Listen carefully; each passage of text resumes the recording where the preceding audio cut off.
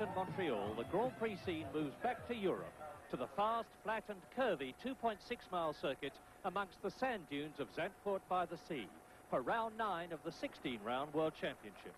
Over halfway through the series then, and Zandvoort's a place where the powerful turbo cars can really use their horsepower. So it's no surprise that six of the fastest qualifiers in practice are turbos. Arnoux Renault in pole position yet again, five seconds faster than his own 1980 lap record, with a scorching lap at 130 miles an hour. With Prost second fastest, Piquet third in his Brabham BMW, Pironi's Ferrari fourth, Tambay having his first drive for Ferrari sixth, and fifth place man, Niki Lauda's McLaren, the only three-litre car in the top six on the grid.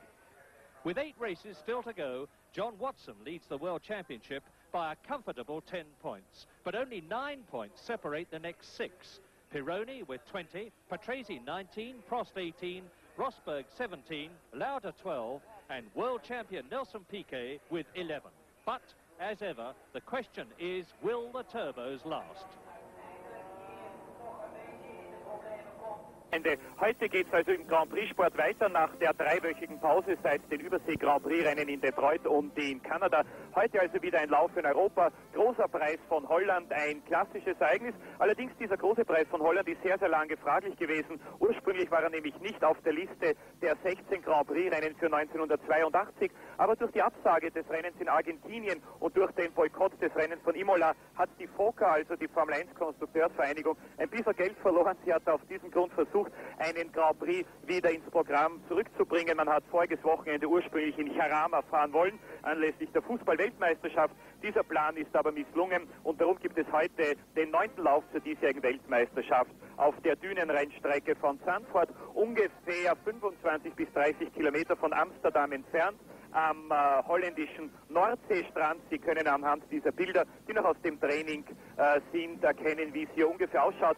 Die Strecke von Zandvoort liegt interessanterweise unterhalb des Meeresspiegels und zwar in den Dünen eingebettet. Hier haben Sie ein paar Eindrücke aus dem Training. Das sind zum Beispiel die Zeitnahmemaschinen. Äh, es ist ja nicht nur längst so, dass sämtliche Teams schon ihre eigene Boxenzeitnahme haben, um jederzeit in jeder Trainingsphase zu wissen, wie schnell die eigenen Autos sind und wie schnell die Autos der Konkurrenz sondern man macht natürlich auch speziell auf einer so langen Start-Zielgeraden wie hier in Zandvoort die Höchstgeschwindigkeitsmessungen und da haben alle Teams ihre Messungen durchgeführt. Schnellst auf der Geraden war übrigens nicht dieser Matra 12-Zylinder von Jacques Lafitte, sondern war der Ferrari von Patrick Tambay mit 321 Kilometern pro Stunde. 321, also die absolute Höchstgeschwindigkeit, die hier gemessen wurde. Hier hatten Sie ganz kurz im Bild Amano Kuogi, den langjährigen Mechaniker von Niki Lauda, der jetzt natürlich bei Alfa Romeo arbeitet. Das sind die Arbeiten im Team von äh, Ligier Talbot. Hier hat sich überraschenderweise Eddie Cheever, der zweite vom Grand Prix in Detroit, nicht qualifizieren können. Einziger Fahrer dieses Teams also heute der Franzose Jacques Lafitte. Vielleicht erinnern Sie sich, Lafitte hatte hier voriges Jahr eine Kollision mit Carlos Reutemann beim Anbremsen der berühmten Kurve von Sanford, der Tarzan-Kurve. Es war eine Kollision, die im Rückspiegel betrachtet beiden Fahrern damals möglicherweise den Weltmeistertitel gekostet hat. Das ist der Holländer Jan Lammers rechtzeitig fit geworden wieder für seinen Heimat Grand Prix. Lammers hatte sich ja in Detroit beim Training den rechten Daumen gebrochen. Und das ist Bruno Giacomelli und das ist der Wagen seines Teamkollegen Andrea De Cesaris. Giacomelli hat heuer noch keine Punkte in der Weltmeisterschaft und jetzt sind wir nach diesen Trainingsbildern sozusagen live dabei. Ungefähr elf Minuten noch bis zum Start des Grand Prix von Holland. Sie sehen die Nordsee ein bisschen aufgewühlt. Das Wetter hat sich hier in den letzten Tagen mehrmals verändert. Am Freitag Regen nach 40 Minuten des Trainings. Gestern unerwartet heiß und aus diesem Grund, weil die Strecke um ungefähr eineinhalb bis zwei Sekunden langsamer war, waren auch die Trainingszeiten deutlich schlechter als am Tag davor. Die Startaufstellung war eigentlich schon aufgrund des Donnerstagtrainings gegeben. Naja, und dann hat es heute Nacht noch einen neuerlichen Wettersturz gegeben. Es wurde empfindlich kalt und einige Fahrer, unter anderem auch der Sieger des Kanada Grand Prix, Nelson Piquet, haben zugegeben, dass sie sehr, sehr schlecht geschlafen hätten vor diesem heutigen Rennen. Sie sehen auch, es gibt keine Urlaub- oder Feriengäste am Strand, obwohl es das erste große Ferienwochenende hier in Zandvoort ist. Üblicherweise hier Zehntausende von deutschen Feriengästen in den holländischen Dünen im Nordsee-Badeort Zandvoort.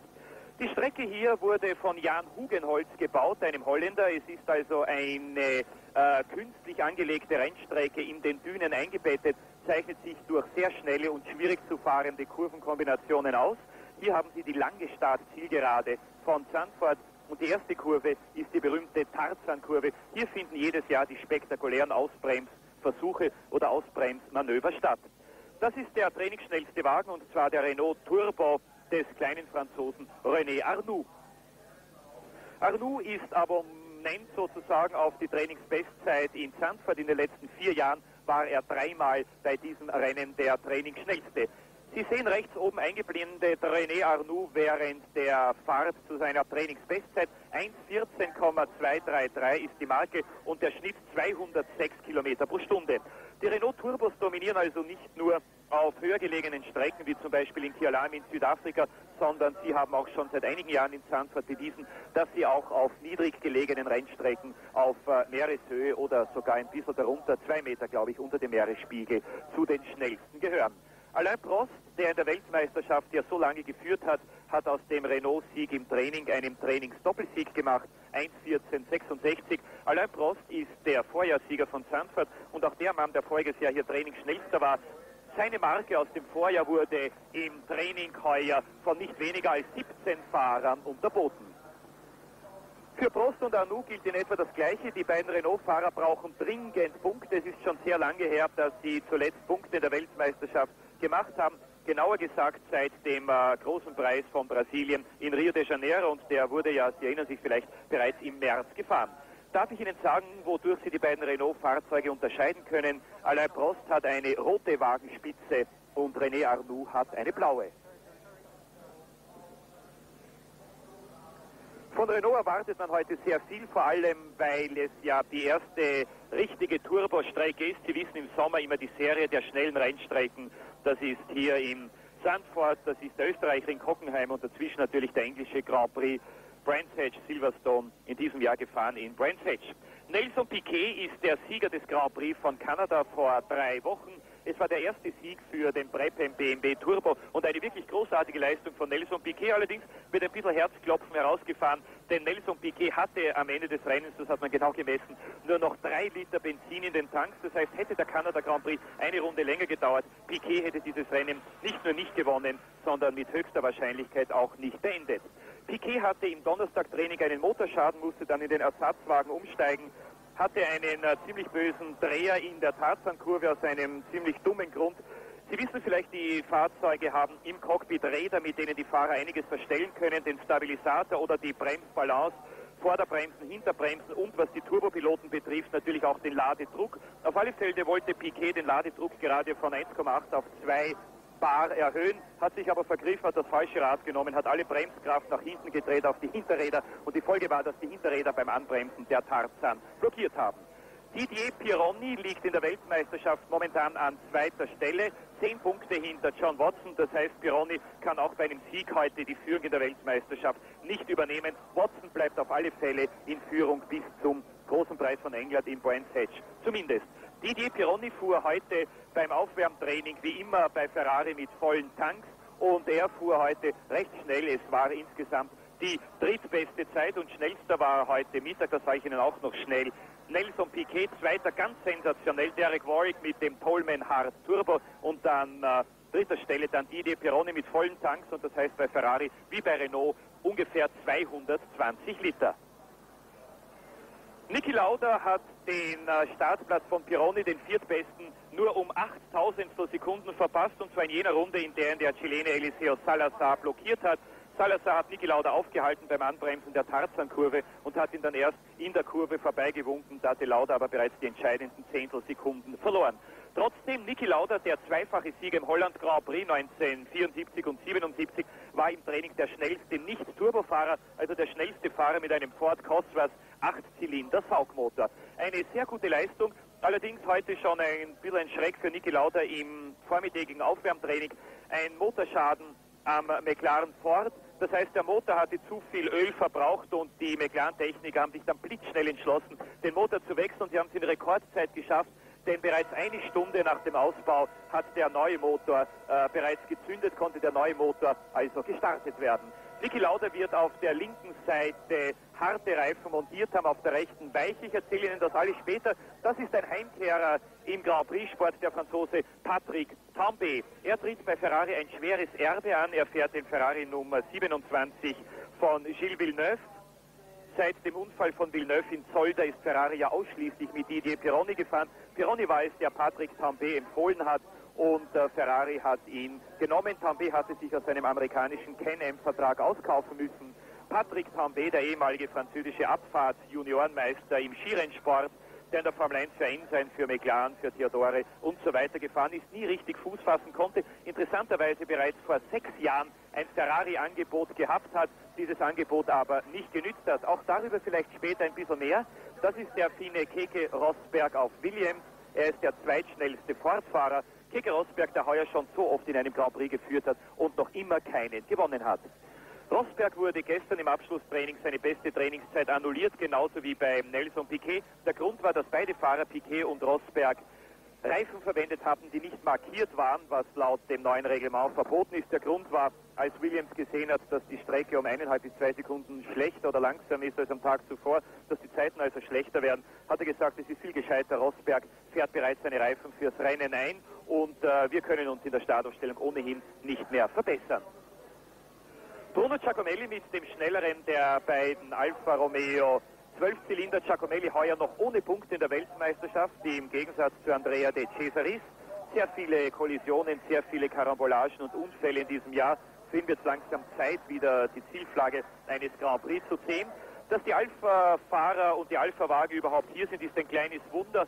Vorige Woche gab es äh, schwere Unwetter in Italien, es gab einen Sturm und die Alfa Romeo Fabrik ist sehr stark beschädigt worden. Zwei Wände sind eingestürzt, das Dach ist eingestürzt, zwei Alfa Formel 1 Rennwagen wurden irreparabel beschädigt. Glücklicherweise aber ein Auto aus dem Vorjahr und ein Ersatzwagen von heuer. René Arnoux mit 1.14.23, also Trainingsbester. Alain Prost 1.14.66, vier Zehntel Sekunden dahinter. Dritter Nelson Piquet mit dem Brabham BMW Turbo. Vierter Didier Pironi Ferrari, also vier Turbofahrzeuge geschlossen auf den ersten vier Startplätzen. Dann kommt Niki Lauda mit dem McLaren, der schnellste Fahrer mit einem Saugmotor, gefolgt von Patrick Tambay, wieder einem Turbo und dann Keke Rosberg mit dem neuen Williams FW für Frank Williams 08. Die beiden Alpha-Fahrer Bruno Giacomelli diesmal vor Andrea De Cesaris, der sich auf Stadtkursen üblicherweise wesentlich wohler fühlt als auf Rennstrecken wie in Sanford. Riccardo Patrese fährt wieder den Brabham BMW Turbo zum ersten Mal seit Kialami, nachdem er ja in Monte Carlo mit dem Brabham Ford gewonnen hat. John Watson mit dem McLaren langsam als Niki Lauda, das Trainingsduell Österreich-Nordirland 3 zu 2 für Lauda gegen Watson. Daly auf Williams, dann die Überraschung im Training Derek Warwick mit dem Tolman Hart Turbo, der zweitschnellste vom heutigen Aufwärmtraining. Michele Alboreto, Tyrell in den letzten Rennen ein bisschen zurückgefallen, viermal hintereinander nicht im Ziel gewesen. Der Angelis auf Lotus war hier in der Testwoche am schnellsten und auch im Freitag-Frühtraining der schnellste. Die beiden Aeros-Fahrer Baldi diesmal vor Marc Surer. Der Grund war, dass Baldi einmal unabsichtlich im Training seinen Schweizer Teamkollegen blockiert hat. Winkelhock mit dem ATS im guten Mittelfeld. Serra auf Fittipaldi mit dem alten Fittipaldi. Der neue Wagen kommt in Brands Hatch. Der zweite Tyrrell-Fahrer Brian Henton. Jacques Lafitte, der Niki Lauda hier vor fünf Jahren ein großartiges Duell geliefert hat, in der Startaufstellung sehr weit zurückgerutscht. Dann äh, Bösel mit dem March, schneller als sein Teamkollege Jochen Maas. Und dazwischen äh, Jean-Pierre Charrier mit dem Osella. Das ist jenes Team, das durch die Fahrertragödie von Kanada durch diesen tödlichen Unfall Ricardo Palettis sehr schwer getroffen wurde. Salazar mit dem ATS und an der letzten Stelle Jan Lammers mit dem Theodore nach dem äh, gebrochenen Daumen von Detroit. Lammers hat Fleißaufgaben an diesem Wochenende gemacht. Er flog gestern unmittelbar nach dem Training nach England, nach Donington, um sich für ein Renault 5 Cup Rennen zu qualifizieren. Flog dann mit einer speziellen äh, Hubschrauber, Flugzeug, Hubschrauber, Autostaffette nach Zandvoort, um hier den Grand Prix zu fahren und äh, fliegt heute gleich nach dem Rennen wieder zurück nach Holland, äh, Entschuldigung, von Holland nach England, um morgen in Donington das R5-Rennen zu fahren. Schauen wir uns jetzt den Kurs von Zandvoort an. 4,2 Kilometer ist der lang. Bremspunkt für die Tarzan-Kurve, in der sich, wie gesagt, Nelson Piquet gedreht hat vorgestern. Knapp 100 Meter. nach der Tarzankurve die Gerlach-Kurve und dann die Hugenholz-Kurve. Hugenholz-Kurve ist die langsame Kurve, eine Spitzkehre, die im zweiten Gang gefahren wird, hinter den Boxen. Und dann geht hinauf Richtung Hunterruck, Richtung Rob Slotemacher Kurve. Rob Slotemacher ist der Besitzer der Schleuderschule von Sanford gewesen. In dieser Schule hat er echten Schleuderunterricht gegeben. Jan Lammers war einer seiner gelehrigsten Schüler. Jan Lammers ist hier bereits als Zwölfjähriger in Rennfahrzeugen gesessen. Das ist die Rob Slotemacher Kurve. Dann Skyflag, die sehr schnelle Rechtskurve. Dann gibt es eine der beiden Schikanen. Dann den Osttunnel. Diese Kurve wird im vierten Gang vollgenommen leichte Rechtskrümmung. Dann die Panoramakurve, eigentlich wieder eine Schikane, die im zweiten Gang genommen wird, unmittelbar danach wieder Beschleunigung. Dritten Gang. Jetzt im Bild gesehen die Blinklichter auf der Streckenskizze eingeblendet. Panoramakurve, eine rechts-links-Schikane und der Boss Uit, das ist die Zielkurve. Hier kommt es äh, besonders darauf an, im vierten Gang die optimale Linie zu erreichen und wirklich mit idealer Drehzahl aus dieser Kurve herauszukommen.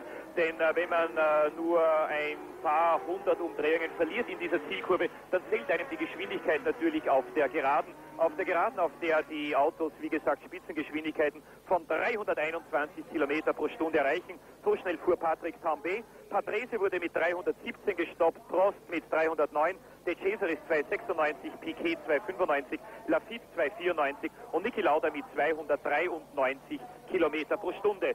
Niki Lauda will also, um ganz sicher zu gehen, And I remind you, in pole position, René Arnoux, the Frenchman, who has uh, only scored uh, four points in the World Championship so far. He's way down in 15th place. Behind him is Nelson Piquet. To the right of your picture, second on the grid is Alain Prost. Fourth behind Alain Prost is uh, Didier Pironi. Behind Nelson Piquet is uh, Niki Lauda. And behind the then is Patrick Tambay. Now, there's a drag down to Tarzan, which is a second gear corner, which they take at about 90 miles an hour. Watch for the green. The Dutch Grand Prix is on. Then are we going to get a clean start? All is well so far. It is Arnoux leading. It is Pironi coming up well. It's Prost going through. There's Patrick Tambay coming up into about fourth position. And it's the two Renaults away, and it looks like Alice is. Alain Prost in the lead. Arnoux second, Pironi third, Tambay in fourth position. So it is Turbos first and second, third and fourth. Then it's Niki Lauda in fifth position. Bruno Giacomelli is sixth. John Watson is seventh. And Nelson Piquet is right down in eighth position. Well, it seemed a pretty slow start for the cars at the front, but they all got moving in the end, the turbos held their position. See there, uh, Pironi is nibbling very, very close behind the Renault there, jacking up. We see it really favours the power of the turbos now. These slow corners, followed by medium length straights where they can really get their acceleration going. Coming out, coming down to the second chicane, field all lined up. But uh, when we get onto the main straights where the fun goes, a little bit of outbraking there, but uh, uh, one of the Williams is just sniffing through.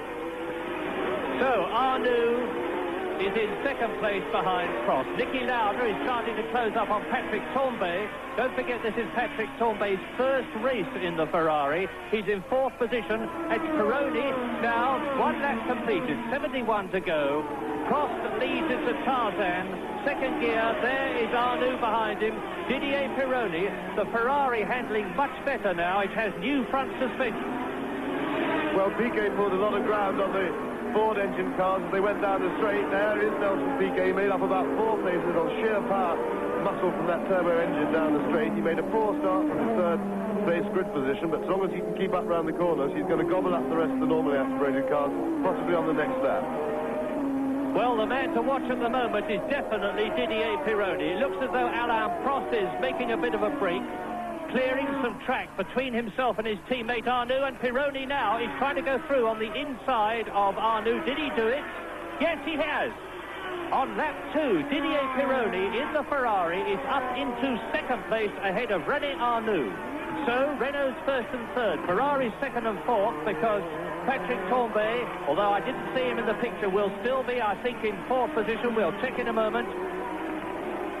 Look at the gap. Yes, it is still, and Piquet is up into fifth position. Now, the men of the race at the moment, then, as they come through to complete lap two, are definitely Pironi in second place and Piquet in fifth. So it's Prost leading. Pironi second, Arnoux third, then a long gap, and Piquet is pulling through and passing Tambay and up into fifth position. Fourth position, Tambay fifth. Niki Lauda is in sixth place. Behind Niki Lauda in seventh place is the distinctive Alfa Romeo Bruno Giacomelli. Then it's Watson. The first Williams is Keke Rosberg, the white and green car. And we are looking at Nelson Piquet in fourth place. Yes, very encouraging for the BMW engineers to see Piquet go right past Tambay's Ferrari. And Lauda is having a go at Tambay, and I think he's got through. But in fact, Tambay will have the inside line for the next corner and more power. And uh, sadly for Lauda, his power re-establishes him. This is a problem that Lauda's going to have. I'm sure he could go quicker the usual problem, Tambay holding him up a bit round the corners. Is Lauda having a nibble? Yes, Lauda's doing down the inside. Camera, unfortunately, is on the wrong car, but Lauda can't make it. He's still bashing away, and of course, Giacomelli is nibbling behind him, so it's the usual Ferrari chicane uh, syndrome. Look at him stretch away down the straight. As I was saying about the BMW, that engine just walked past uh, Tambay's Ferrari on the straight, and uh, the BMW engineers must be very pleased with that. And what a, to the assembly of cars behind Patrick Tambay. There he is, fourth. Now, here are the first three, and see how Didier Pironi is closing up on the leader, Alain Prost, in the Renault. This is the fourth lap in this 72-lap race, and Pironi, a man who is tipped by a lot of people for world champion this year, has, is pulling away from Arnoux, is closing up on Prost, but the fastest car on the circuit is Nelson Piquet's Brabham BMW. He was doing 203 miles an hour down the straight yesterday. Well, although I'm quite sure he's not meaning to, in fact, Patrick Tambay is doing a, a, wonderful job for the Ferrari team and for the other turbo cars, because he seems to be holding up all the normally aspirated cars, which I think would be going a lot better. This, this enormous lead that the first three cars have got, and Piquet now going away from the field be interesting if he's catch little twitch there from Pironi as he put a wheel over the curb on that slippery bit there. But uh, everything seems to be under control. Pironi really going very well indeed. But as I say, Tambay is making sure they've got a nice clear track behind them and they really pressure them because he is definitely holding up the normally aspirated cars who must be, as usual, bashing their helmets in frustration. Yes, and René Arnoux is by himself in third position as we look at the battle for first. Alain Prost, who led the World Championship for some time this year. And now Pironi is going to try and take him as they come down to Tarzan. And he's through. Pironi takes the lead. Well, the man who won at San Marino, Didier Pironi, number 28 in the Ferrari, and who was second at Monaco, third in Detroit, now leads, as many people expected, the Dutch Grand Prix, and we wonder whether the Renaults will suffer from reliability problems. Here's a replay, and you see Pironi come out of the slipstream much better on braking than the Renault significantly. Takes the right line at the 90 mile an hour Tarzan bend, and now it looks to me as though he is already pulling away, and that Alain Prost can do little about it. So Turbo Ferrari leads the two Renaults. Yes, most impressive performance by uh, Pironi and the Ferrari. That's uh, probably the best they've gone in a race. And uh, but the real excitement, of course, is going on behind Patrick Tambay with all the Ford engine cars climbing all over the back of him and over each other in their effort to try and scramble away past. But Pironi seems to be establishing a bit of a lead, getting away. He's uh, the car looks very well balanced turning in. The car goes light over the hump as they turn into that very quick corner, and uh, if there's anything wrong with the handling of the car, it really slows it down there. But Pironi has stretched quite a substantially. We see Piquet coming to the picture in fourth place. he's holding about station since he did. There is Tambay leading that little gaggle, but of course they're on the straight now, and he just stretches away from them. Looks like Lauda still leading the uh, leading the pursuit, and there goes Rosberg up the inside. They're all arriving together, and we got Giacomelli trying the outside treatment, but he doesn't make it. Lauda's having down a bit, leans out wide, and uh, shuts him out. Looking at the battle for fourth place on lap six, Patrick Tambay in the Scarlet Ferrari fourth, followed by Niki Lauda fifth, Bruno Giacomelli sixth, Keke Rosberg in the white and green Williams is in sixth position, and then behind Rosberg is Riccardo Patrese in the second of the two Brabham BMWs, and then behind Patrese is Warwick. Derek Warwick in the turbocharged Toleman is in eighth position. This is certainly a terrific performance for, for Toleman, far and away their best one. And Derek Warwick on full tanks was very quick indeed this morning in the warm-up, so they've suddenly found a new breath of life in the performance of their car. Most impressive indeed. And into the pits comes Laffite in the Ligier. Well, he's coming in a little bit slow, doesn't it? Yes, he's getting out of the car, so that looks like uh, the end of Laffite's afternoon's work. There we go, Tambay onto the straight now, using the power of the car. You see how he's stretched it out? All the forward cars are climbing all over the back of him. Lauda still leading the fray. And of course, what's particularly good fun behind them is that they're all climbing over each other. There's Rosberg having a go at Giacomelli. Two very hard chargers. Looks as if Rosberg might just be in a position to do it. We are now on lap seven. And with Didier Pironi leading Alain Prost in second place, Arnoux is third, fourth is Nelson Piquet. In fifth position, it is Patrick Tambay, and there he is. Sixth is Niki Lauda. Seventh is Bruno Giacomelli. Eighth is Keke Rosberg. And ninth is Derek Warwick, not eighth. You just saw a flash of the Turbo Toleman there. He was actually fastest in the warm-up until the very, very last stages when Didier Pironi was a bit, no, Nelson Piquet was a bit quicker, but right at the end of the full warm-up period, Derek Warwick was second fastest, and that's a superb effort. Five laps then, that's the order, and as you can see, Niki Lauda was in sixth position there. There is Tambay ahead, and again, Rosberg is trying to get past Giacomelli. He must be absolutely fuming in the cockpit there, because Giacomelli is doing nothing to help him get by. So, Tambay, number 27 in the Ferrari. Niki Lauda. Yes, Bruno Giacomelli has the ability to be extremely obstructive about being overtaken, and he's a bit of a weaver. Now there's a shot of Laffite's car just wiggling. Niki Lauda and looks very well placed to pass, but Lauda, of course, being in the front, is able to stay in the Ferrari's slipstream, which will help his speed down the straight, whereas Rosberg's got clean air. So they're absolutely side by side. Rosberg has just slipped in front, looked very much on the limit under braking, but he's obviously in real charging mood. Rosberg's driving a, a very good and aggressive race. This then is the battle for fifth position.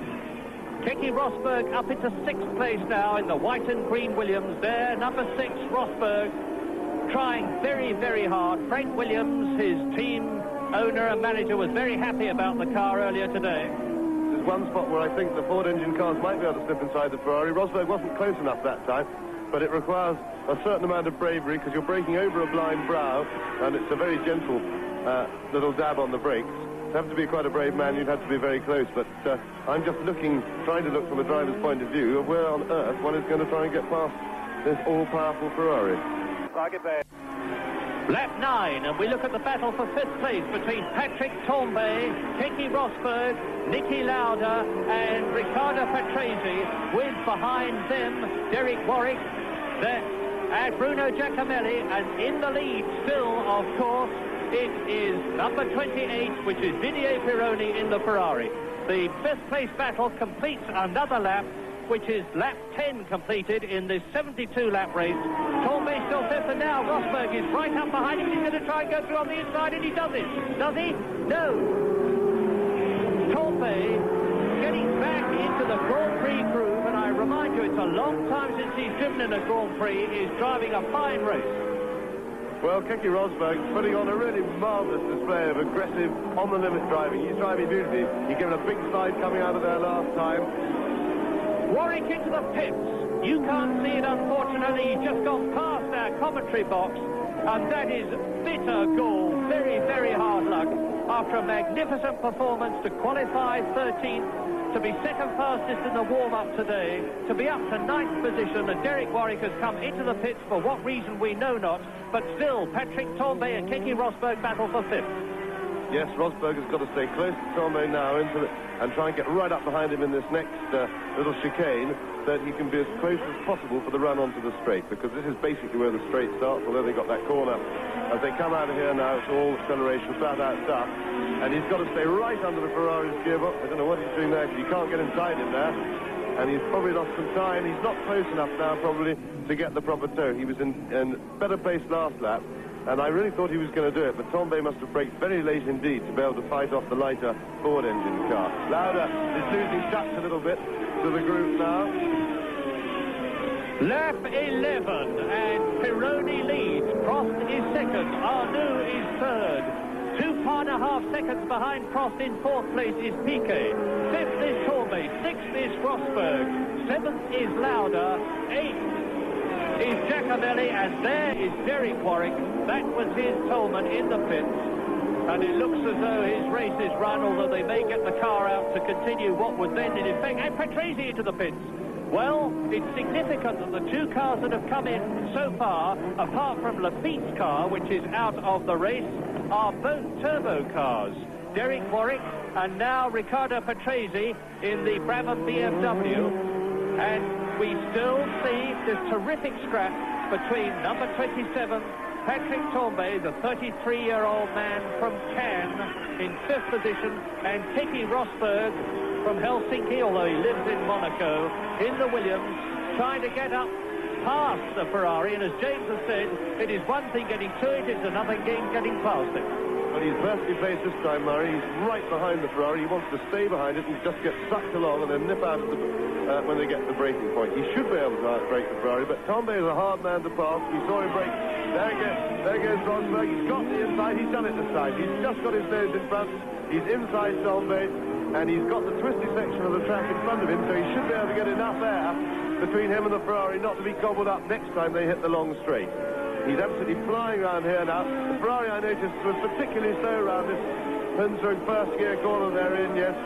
Rosberg drawing away, and uh, he looks definitely as if he's going to have enough space to stay in front when they hit the straight. Lauda is struggling to hold on a little bit. I think uh, Selmay's got a little bit, bit quicker, settled into his stride, but Rosberg is certainly flying. It'll be interesting to see what that's at. Here we see him again, just nipping out, normal, conventional overtaking manoeuvre, towed up behind the Ferrari, just before the braking area nipped out, gave himself a clear sight. Look at the car bouncing. You see how bumpy it is on these solid suspension. Just the tires working as springs, really. The car just bouncing on its big tires. Rosberg really bouncing.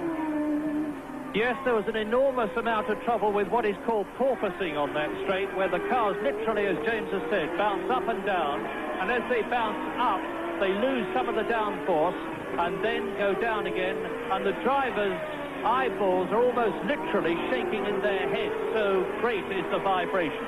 So, Keke Rosberg, then there is Prost in second place. The leader, of course, still Pironi. There is Arnoux in third position, and Nelson Piquet in the Brabham BMW 4. Keke Rosberg now in fifth place, lap 13 uh, now, and it is Pironi, Prost, Arnoux, Piquet, Rosberg, then Tambay, Lauda. Behind Lauda is Bruno Giacomelli. Then Derek Daly. Behind Derek Daly is John Watson. And after John Watson, Andrea de Cesaris. And this is René Arnoux being chased by Nelson Piquet. Two one and a half litre engines. The V6 Renault Turbo there. And the four-cylinder BMW, about 560 horsepower. You see the little flashes of flame under the wing of the BMW he was braking then on the overrun. These turbo cars spit an awful lot of flame. It can be quite dramatic. Well, Piquet dropped right back there, just as I thought he was going to be uh, on Arnoux's tail, ready to have a go at him. He seems he must have made a little mistake there coming out because he's dropped back a bit, but uh, it was obviously only a temporary setback because he's running healthily down the straight. These are a little bit spread out. Pironi has a four-second lead or a little bit more over Prost. Not the excitement we're seeing behind, but Piquet is lining himself up to position himself for an, for an overtaking shot. But as yet, we haven't seen him really get into the groove. He's not quite close enough to have a go right now. Lap 14. Pironi now just five seconds ahead of Prost, Arnoux, Piquet. That's the battle for third that we're looking at now. Keke Rosberg ahead of Tambay, who is sixth. Lauda seventh. Bruno Giacomelli eighth. Daly ninth. Watson tenth. De Cesaris 11th, De Angelis 12th, Michele Alboreto 13th, Baldi 14th, and Chico Serra in 15th place. And by the way, two or three of the teams have got a new Demon Pirelli tyre, which helped Derek Warwick on his way. And now, Peg Piquet is right up with Arnoux. And we've noticed race after race recently that the Renaults do start to will from the BMWs don't. Yes, I think Piquet may have a little problem with the turbo lag there. He seems to lose ground in the middle of that corner just when you'd be going onto the power, but he's close enough. And with, and with the power he showed when he went past Tambay's car, he's beautifully placed. And uh, as I say, it looks like he's got a straight line speed advantage. So, but he's got the wrong side of the corner, but he's through and clear, so he's okay. So that BMW is really putting out plenty of power. That's most most impressive that he's able been able to get comfortably past both uh, the turbo Renault and the turbo Ferrari. So Piquet up into third place, comfortably done, but not looking very threatening to the two leaders who uh, got some. He's got something like five or more seconds to make up on Prost. Here we see it again, again getting the the draft down the straight. He's in uh, a hole in the air made very kindly for him by the Renault. Now he's out in clear air, but he's already going quicker than him. His momentum carries him clear. Look at them bouncing again. It really must be very, very uncomfortable for the drivers. It's now over three years since I drove a Grand Prix car, and they were pretty uncomfortable then, but they have got an awful lot worse. Well, into the pits comes Marc Surer in his Arrows. That is uh, one of the Pirelli users that I was telling you about. And it looks as though uh, things are not quite as uh, happy as I said they were because his tyres are being changed. Whilst they are being changed, it gives me a chance to tell you that Nelson Piquet was consistently yesterday doing over 197 miles an hour down the straight.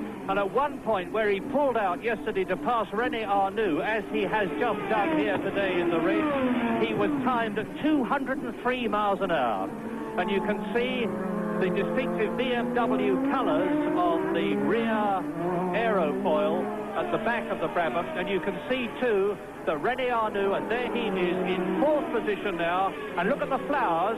Overnight, the Dutch have been out and around many of the corners. They have planted thousands and thousands of flowers. A very, very colourful sight, which René Arnoux certainly won't be enjoying.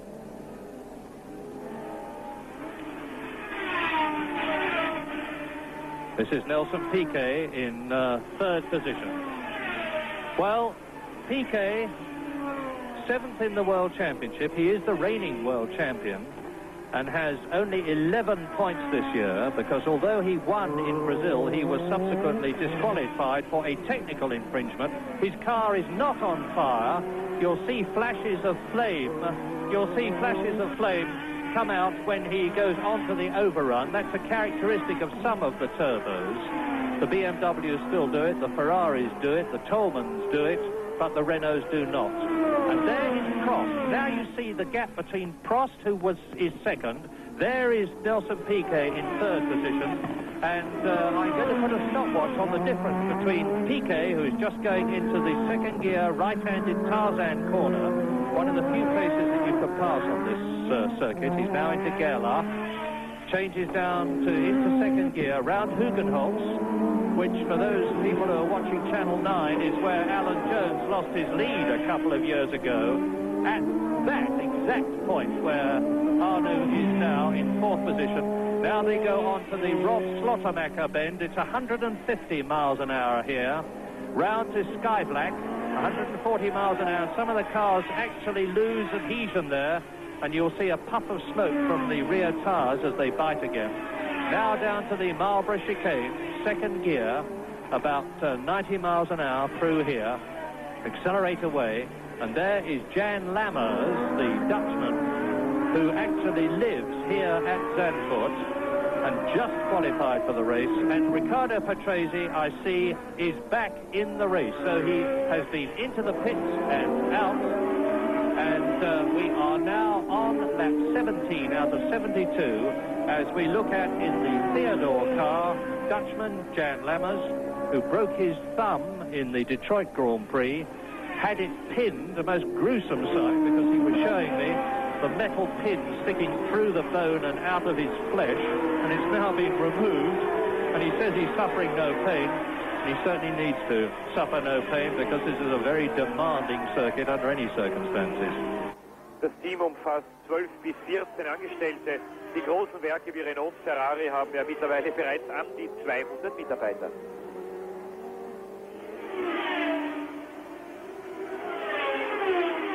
Der Theodor ist etwas übergewichtig, schaut auch ein bisschen plump aus. Das Gewicht der Formel-1-Wagen wird ja wahrscheinlich bereits ab dem nächsten Rennen in Brands Hatch oder ab dem übernächsten in Le Castellet reduziert. Und zwar im Augenblick ist es immer noch 580 Kilo. Coming into the pits, lap 18, Pironi leads, Prost second, Piquet third, Arnoux fourth, Rosberg fifth, Torbay sixth, Lauda seventh, Giacomelli eighth, Daly ninth, and John Watson leading the World Championship in 10th position as into the pits comes Chico Serra. Well, after an absolutely storming session over the opening few laps with some very good racing indeed, particularly some marvellous driving by Keke Rosberg, things seem to have settled down. The leaders are all rather spread out, look processional. Uh, interesting point is whether Rosberg can make any impression on the turbos. He's been keeping the gap at about 11 seconds. He's closed it very slightly. He's making no real inroads into the turbo, the lead that was established while he was uh, stuck behind Tambay and the group in the uh, Tambay's Ferrari. But uh, behind the only real battle of the race, Tambay, Lauda, Giacomelli and Derek Daly all battling away for sixth place with Tambay frustrating all their efforts with the power of his turbo engine every time he gets on the straight. But there's still a major scrap going on there for sixth place. And a very interesting point as we look at Didier Pironi leading his second Grand Prix because he won at uh, San Marino. And there is Derek Warwick out of the race definitely this time because he's out of his car. Uh, and uh, the position 13 there is on the Scheivlak corner, I'm pretty certain, approaching the Marlboro chicane as Didier Pironi is coming up now to complete his 18th, 19th lap and lap Raul Boesel in the March car. That's the Brazilian who is driving for the first time in Holland because he was a Formula 3 driver last year. Moves over, lets Didier Pironi, the race leader, through.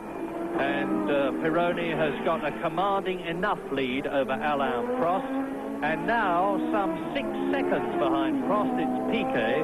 But I was saying, of interest in the World Championship situation is that John Watson, who is leading Didier Pironi, and there is Pironi, by 10 points in the World Championship, is not actually in the points at the present moment because he is in 10th position.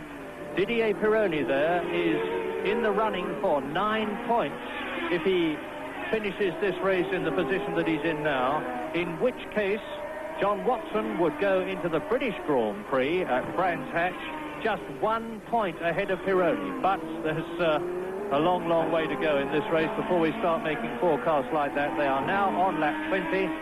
Pironi leading. And uh, when you see the front of the Ferrari, for those of you who are technically interested, and here he is coming through to complete his 20th lap, have a look at the suspension because it is the new pull rod suspension of the type that is used by uh, Tyrrell and by one or two other manufacturers, and it has significantly improved the handling of the Ferrari. Now, there is Prost in second place, and the gap between Prost and Piquet is now only four seconds. So once again, it looks as though the Renaults have flattered to deceive a bit although they are in second and fourth places, but we do expect so much from them after their inevitable and quite usual scintillating performances in practice. But Ferrari seem to have got the mixture, literally, right and better than the Renaults. The Ferraris have got uh, water injection in their engines, which makes them run cooler and produces more power. There is Prost, second, and there, behind him, you saw Nelson Piquet. Lap 21 out of 72, Alain Prost. Second. Heat looking in the picture for Nelson Piquet, although they are staying with the Frenchman. You'll see Piquet now. There he is. And all the time he's getting just a tiny bit closer. There's the Brazilian, the reigning world champion, Nelson Piquet, third. Renaults have really had uh, what, for them, one has described as a dreadful season. They've uh, shown the best form in qualifying. They've got the fastest uh, chassis engine combination. Alain Prost has uh, driven particularly well. He's a very, very mature driver, one of the very best in the business now, and they've broken down an awful lot, which uh, after their whoops, and there's a wheel flying about. I can't see a car, so somebody has crashed there. There goes the thing. It looked like quite a bit. Oh, it's a terrible big shot, and it looks like one of the Renaults. As the driver's moving around inside, it's René Arnoux. I'm almost certain. Yes, it's René Arnoux. And you can see that he's still in the cockpit. Yes, he's gone straight on at the end of the straight. Whether he lost his brakes, locked them up or anything, we just can't tell. And looking down, I can't see the end of the straight from our comfort position. See any big black marks on the road. There's the replay. It's Tarzan corner. And Arnoux, off comes the wheel. And Arnoux did exactly what Derek Daly did a couple of years ago, ploughed into the barrier at the end of the straight. Well, that wheel seems to be off before he hit anything, so it looks to me as if as if a wheel fell off the car, po possibly and probably causing the accident. Couldn't see quite enough from that action replay to see he may just have hit something first and attached the wheel, but they're having a bit of a struggle to get him out. Actually, the front of the car is pretty flat, and he appeared to go in head on. He's nearly mounted the barrier. We have to remember that the car is doing something like 190 miles an hour when he's coming into the braking area. So that's a very heavy shunt indeed. The sand in front of it. And uh, that's Brian Henton and his Tyrrell doing a bit of mechanical work on the side of the track. Henton. And uh, Arnoux doesn't look too well. I think he's got leg damage. But they are getting him out. Well, poor René Arnoux, I have said time and time again, his helmet is off. He is obviously in considerable pain from the expression on his face. Thankfully, the medical facilities here at Zandvoort are absolutely first class. But René Arnoux has clearly done what Derek Daly did and what John Watson did. He has gone straight on at uh, Tarzan and his car ploughed into the tire barrier, went over the Armco. You can see that the front of the Renault is considerably deformed. The driver's feet are, and here's a replay. Now watch, and you see the wheel is already off, as James has pointed out. Now you see the wheel come into the picture. So, as a, as a surmise, it would appear that the Renault wheel came off and caused the accident rather than a driver error. Well, we can uh, only guess that that is the case, but meantime, with Arnoux thankfully out of the car and being hastened away to uh, the medical centre, Didier Pironi, there he is, ahead of Jan Lammers, is in the lead. Alain Prost is in second position. Nelson Piquet is in third position. Up to fourth place, of course, now comes Keke Rosberg as we look at the Renault astride the Armco at Tarzan. And, and uh, we are now, by the way, on lap 24 out of 72. So to recap, lap 24 out of 72, Didier Pironi leads with René Arnoux, who was in fourth position, crashed out of the race. In second position, Alain Prost in the sole remaining Renault. In third position, Nelson Piquet.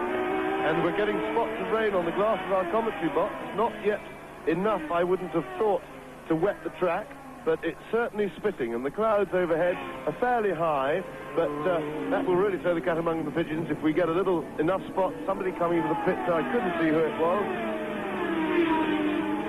Well, he will be coming into our sight as Pironi now goes past one of the ATS cars, and the man coming into the pits was Jean-Pierre Jarier in the Osella, and Didier Pironi is on his way. Now, if it is going to rain, and uh, the weather here at Zandvoort, which is literally within yards of the North Sea, is totally unpredictable. It's Eliseo Salazar, incidentally, in the ATS, who has been lapped by Didier Pironi. Salazar, who I unjustly accused of having failed to qualify in a race uh, when I was talking in a previous Grand Prix about him, has in fact qualified for all of them, but has now been lapped by the flying Didier Pironi, who is a long way now ahead of Alain Prost on lap 25. Piquet third, Rosberg fourth. Up to fifth position comes Patrick Tambay in the second of the two Ferraris. Then Niki Lauda in sixth position. Giacomelli is seventh. Daly is eighth. Watson is in ninth position. De Angelis in the John Player Special is tenth. Then De Cesaris eleventh. Michele Alboreto twelfth. Früh an und zwar hat äh, Laffite gesagt, ich möchte die Gewissheit haben, wenn irgendetwas am Auto bricht, wenn ich in dieser Kurve stürze, dass ich möglichst viel Auslauf habe und möglichst nicht direkt gegen diesen Wall, diesen Schutzwall aus Gummireifen und Brei. Und auch auf dieser Geraden verändern die Fahrer immer wieder ihre Linie. Sie sehen diese Zickzack-Bewegung. Hier immer noch der ausgeschiedene Tyrrell von Brian Henton.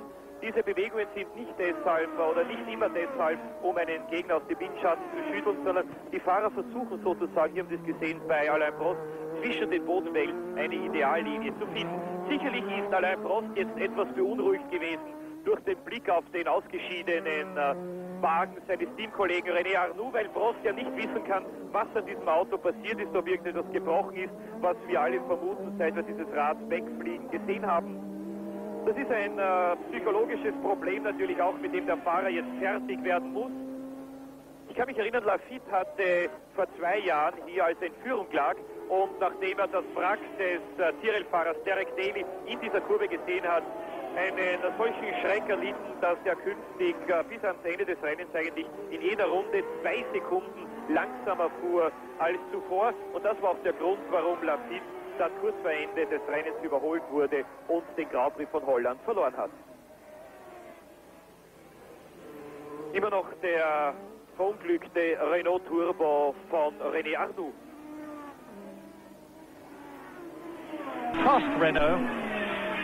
And Prost is now, according to that caption, just about 2.8 seconds ahead of uh, Piquet. Now there's the gap. You can see it for yourself.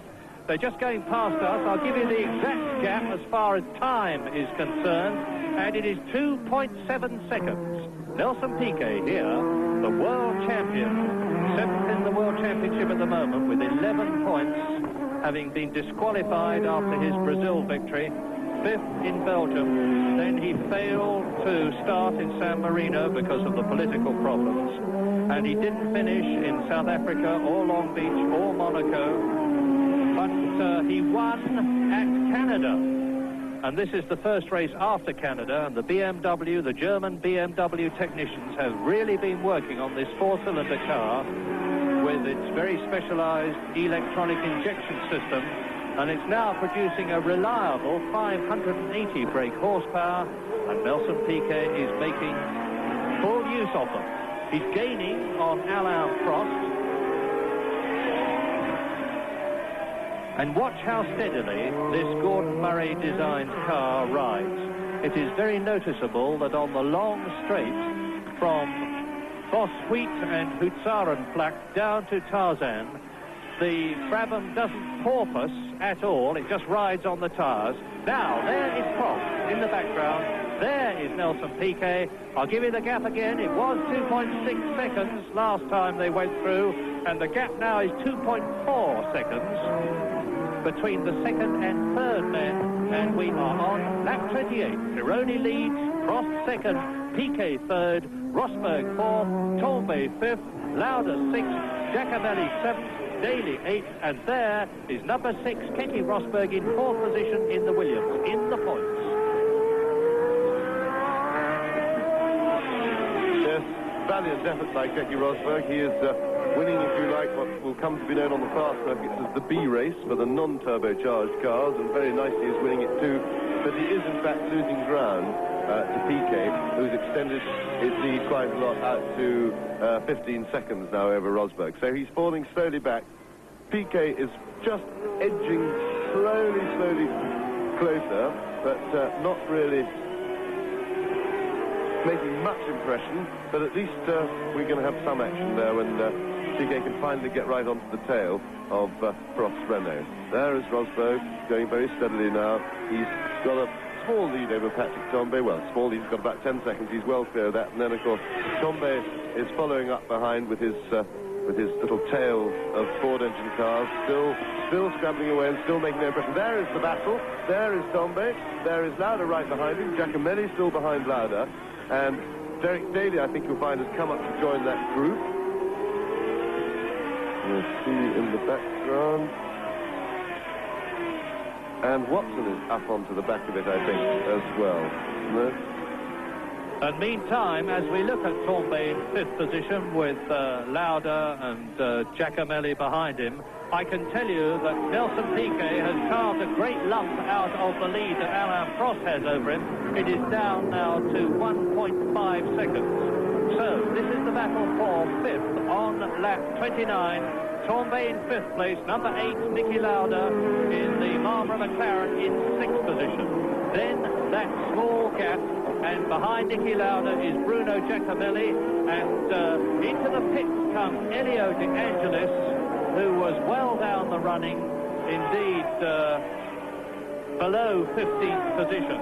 And uh, yes, there's the battle. John Watson now is coming up well. He's in ninth place, but this is the battle for fifth again. Tambay in the Ferrari, his first drive.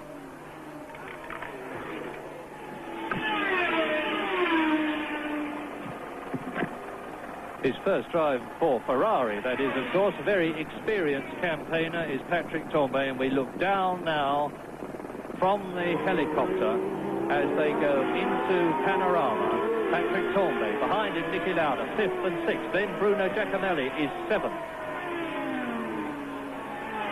Now, Elio De Angelis, who we have just seen coming into the pits, was challenging John Watson for ninth position as Niki Lauda is challenging Patrick Tambay for fifth. And he's close enough to get through here. That's Tarzan. But Patrick Tambay closed the door in his face. And the two of them, as we look at Elio De Angelis in the John Player Specialist, obviously some trouble underneath the front of the car. They've got it jacked up. They haven't changed tyres. Meantime, the Ferrari and uh, Lauda are still chasing each other. Now we have good news, and that is that René Arnoux has got no broken bones. We have got this news from the Renault pit, and after crashing out of the race at over 190 miles an hour when his car came, when his wheel came off, René Arnoux is apparently okay, and uh, very, very good news indeed. Yes, that's marvellous news.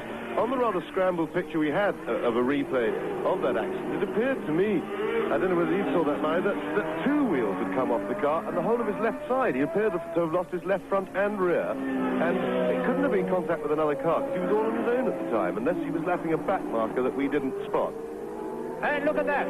Nelson Piquet is ahead of Alain Prost as we rejoin. We've been watching this and wondering when the pictures were going to come back to this battle. And now there is the excitement on lap 31 out of 72, coming up to the half distance.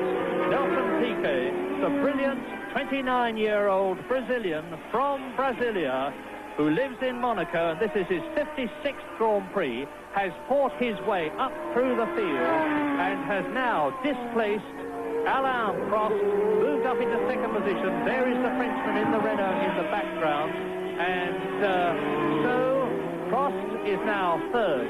Rosberg is now in fourth position. And uh, there's a considerable gap, of course, between Prost and Rosberg. I'm doing some quick mental arithmetic while I talk to you. It's about 16 seconds. But I wonder whether Nelson Piquet, who is driving absolutely magnificently, there's the flash of the turbo flame coming out of the turbo exit as he backs off with Alain Prost now behind him. Nelson Piquet, who has driven in his career for Ensign, for McLaren, for Brabham, has six pole positions, three second places. He's won seven Grand Prix, and he's now up to second place in the Dutch Grand Prix of 1982, in which, uh, by the way, he finished in second place last year to Alain Prost. So he's got his revenge over the Frenchman because he's got ahead of him in 1982. Well, lap 32 we are on now. Pironi leads there, Piquet second, Prost and Rosberg third and fourth, with the second Ferrari of Patrick Tambay ahead of Niki Lauda, and uh, therefore there are two three-litre cars in the top six. They are, of course, those of Keke Rosberg, who is in fourth place, and Niki Lauda, who is in sixth position chased by seventh Bruno Giacomelli, eighth Derek Daly, and in ninth position John Watson. That's Raul Boesel, and there is Nelson Piquet second, Tarzan.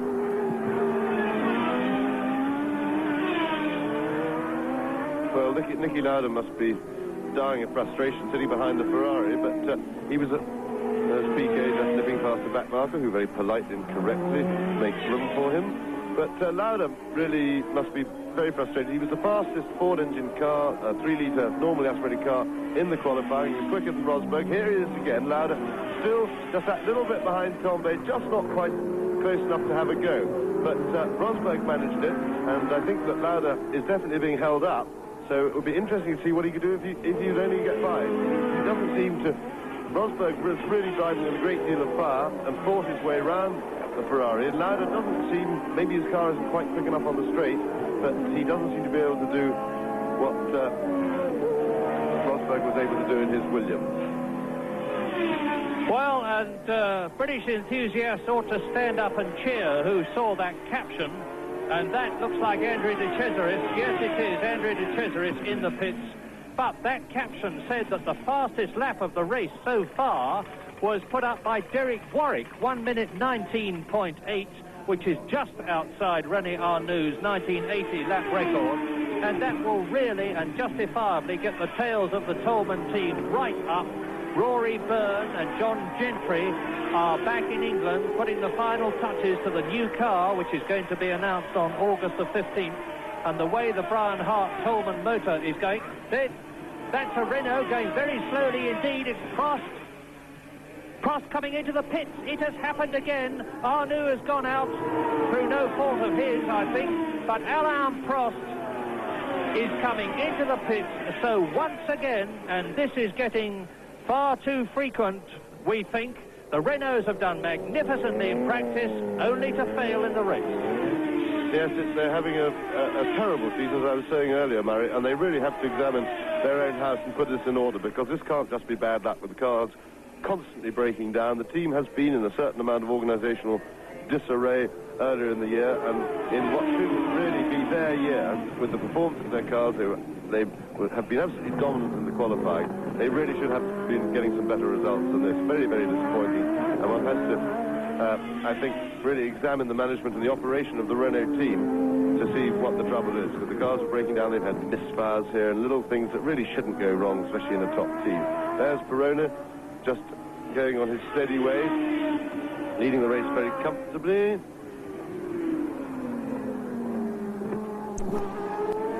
Well, the interesting thing is with uh, Prost out of the race that Rosberg moves up into third position and all the time, of course, John Watson is making up places. He is now in ninth position. That is three places off a point-scoring position and Didier Pironi, number 28, who is now leading Nelson Piquet, who is in second place by just about uh, half a minute. He's got a very considerable lead over Piquet, as Niki Lauda, who is now in fifth place, chasing Patrick Tambay, number 27, who is fourth. In sixth position, Alain Prost was and is now slipped down, so that means to say that John Watson is now up into eighth position. John Watson.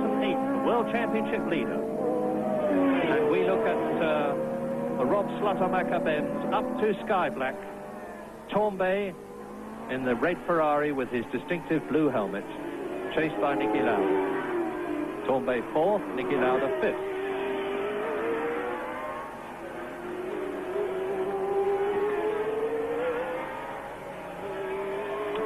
Well, it would seem at this stage of the race, because we are now at the half-distance point, 36 laps, which is the half-distance lap in this 72-lap race, that Pironi has simply to keep going in order to win, because he has a very considerable lead over Nelson Piquet, and brilliant as the Brazilian is, there is no way I can see him being able to reduce the gap between himself and Pironi unless Pironi has trouble. And now, Lauda is going to try and go through and take Patrick Tambay, who is fourth. Well, it's so close, so near, but yet so far. He very, very nearly got inside Tambay. Tambay sliding about, switching out of the corner. But uh, he's re-established, and that's as close as we've seen now to get. And he's really going to have to do something to get past this Ferrari because he's still has the chance of chasing Rosberg. They're only something like 12 seconds behind Keke Rosberg, and uh, that time, but they're running out of time if uh, Lauda can't get by. We don't know what his uh, speed capability is on his own, because of course he's been uh, stuck behind this uh, almost immovable object, except down the straight, uh, throughout the race. We are now just over the half distance, lap 37. Pironi leads, and you can see the gap between himself and Piquet second. Rosberg third. Tambay fourth. Lauda fifth. Giacomelli is in sixth place. Derek Daly is seventh. In eighth position, it is Michele Alboreto. In ninth place, John Watson. So, Alboreto and Watson are now very close. John Watson is starting a charge behind this lot, and there is Elio De Angelis bouncing his way down the straight, having rejoined the race into Tarzan ahead of Jan Lammers, who is in 13th place, the Dutchman, number 33, in the Theodore car. Still recovering from his broken thumb, but he has qualified in his home Grand Prix. He is the hero of Holland, and rightly so. Bruno Giacomelli, who's still shadowing that uh, uh, Tambay Lauda battle, dropped back a little bit, and it sounds to me like he's got a broken exhaust pipe. His engine sounds very rough, but it can't be that rough because he's still holding off Derek Daly, who's stuck behind him, and uh, he's keeping pretty close to the battle in front. It uh, doesn't knock a lot of power off, it doesn't half make the engine sound horrible, but uh, he's been like that for a few laps now, so he seems to be settled into his new funny noise without any problems. Well, whilst we go round Zandvoort with the Elio De Angelis versus Jan Lammers battle on the course, there is Nelson Piquet in second position. He has now completed 37 laps, and uh, he chases unavailingly at the moment Didier Pironi in the Ferrari, who seems to be on his way to his second Grand Prix win of 1982. He has already won two Grand Prix, Pironi I'm talking about, and Nelson Piquet won't be able to do very much about the gap between himself and the Ferrari, but it does look at the present moment as though we are going to have two different makes of turbo in the top two places. Well, we can't see it on the screen, but Lauda was definitely inside, and there he is, he is through. I saw him as they went past the pits, he was closer than ever before.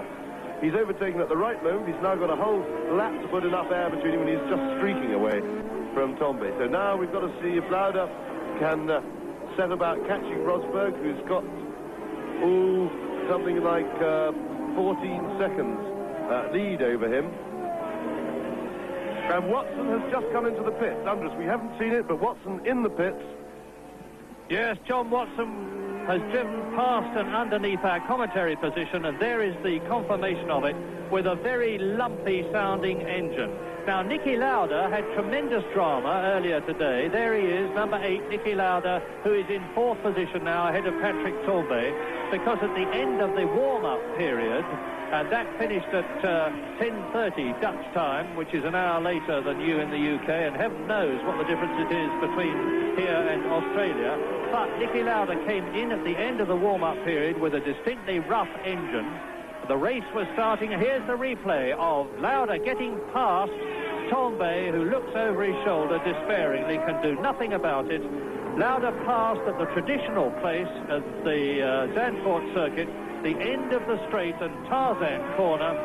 And uh, I still haven't finished telling you that uh, Lauda's engine was changed between the end of the warm-up period and the beginning of the race. And there is John Watson, obviously back in the race So, uh, and he's uh, just ahead of his teammate Niki Lauda. He moves over, lets the Austrian through, because he knows, of course, that Niki is uh, in with a chance of some excellent points, because he's uh, on his way to three points, Niki Lauda, if he can maintain his fourth position at the present moment in the World Championship.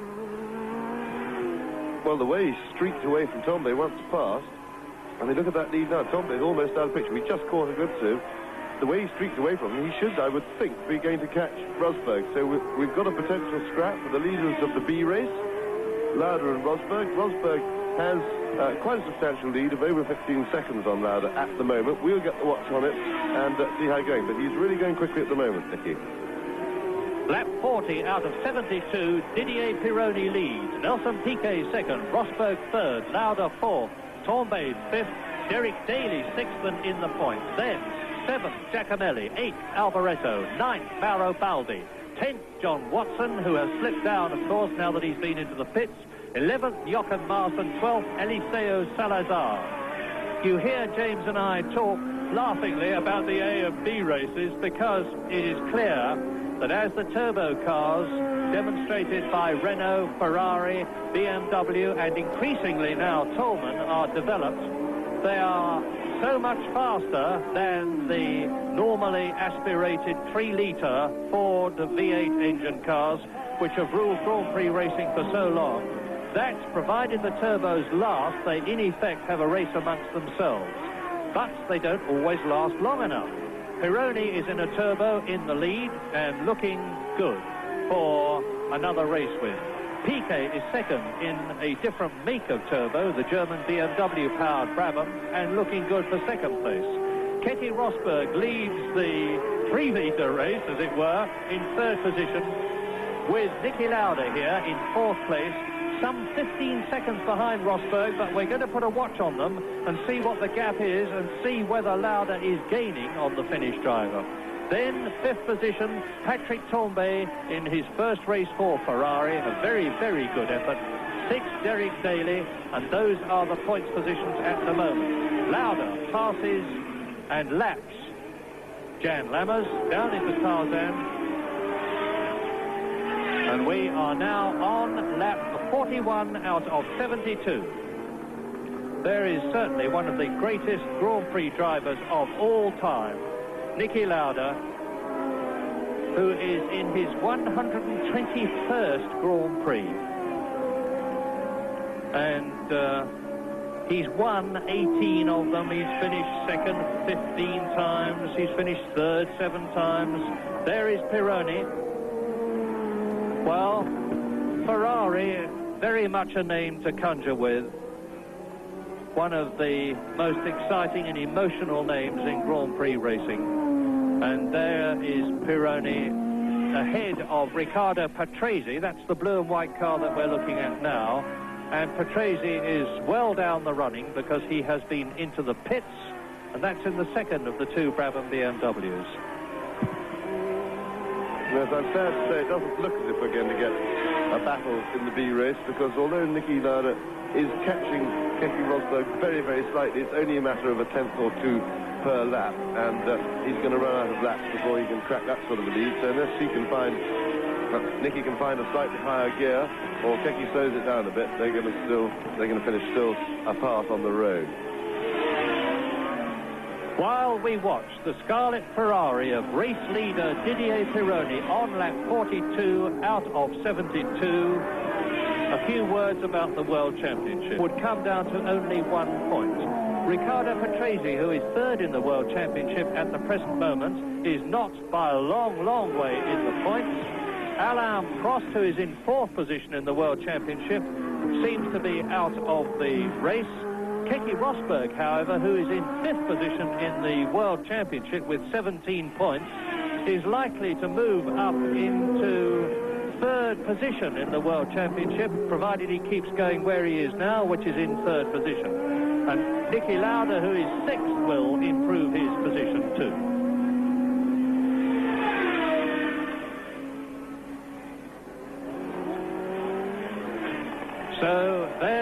Nelson Piquet, lap 43, second position behind uh, Pironi. In third position is Keke Rosberg still. In fourth place is Niki Lauda. Then in fifth place now, we haven't seen it on the picture, but Derek Daly has moved ahead of Tambay, who goes down to sixth position and into the pits comes Jan Lammers, who, as I said, was overjoyed to have qualified for his home Grand Prix. And uh, look at that near side front tyre. Look how blistered it is. The left side front tyre here in uh, Holland and Zandvoort takes a terrific pounding. Yes, that's absolutely right. It's, it's, it's oh, depending on how the car's set up, it's either the front or rear outside tyre, and that's blistered through pure overheating, which uh, could be indicative that other people may be in tyre trouble, and we we tend to see it in the second half of the race that the tyres are warm a lot. But it seems strange that he blistered the tyre so late in the race because they get hotter. There's Rosberg in uh, pretty clear third place, no trouble at, all, cruising along. Lauda not appearing to be a threat behind him and uh, doesn't look any chance really of catching Piquet ahead unless, of course, one of the two leading cars runs into trouble. But uh, it's strange to blister a tyre straight so late in the race because they built up more heat when they got more rubber on. Look at that lovely slide. Rosberg really throwing the car about joy to watch. He really enjoys his driving. Very much the Finnish style. They're brought up on snow and ice, so they can drive cars backwards and still be under control. They're used to sliding all over the place.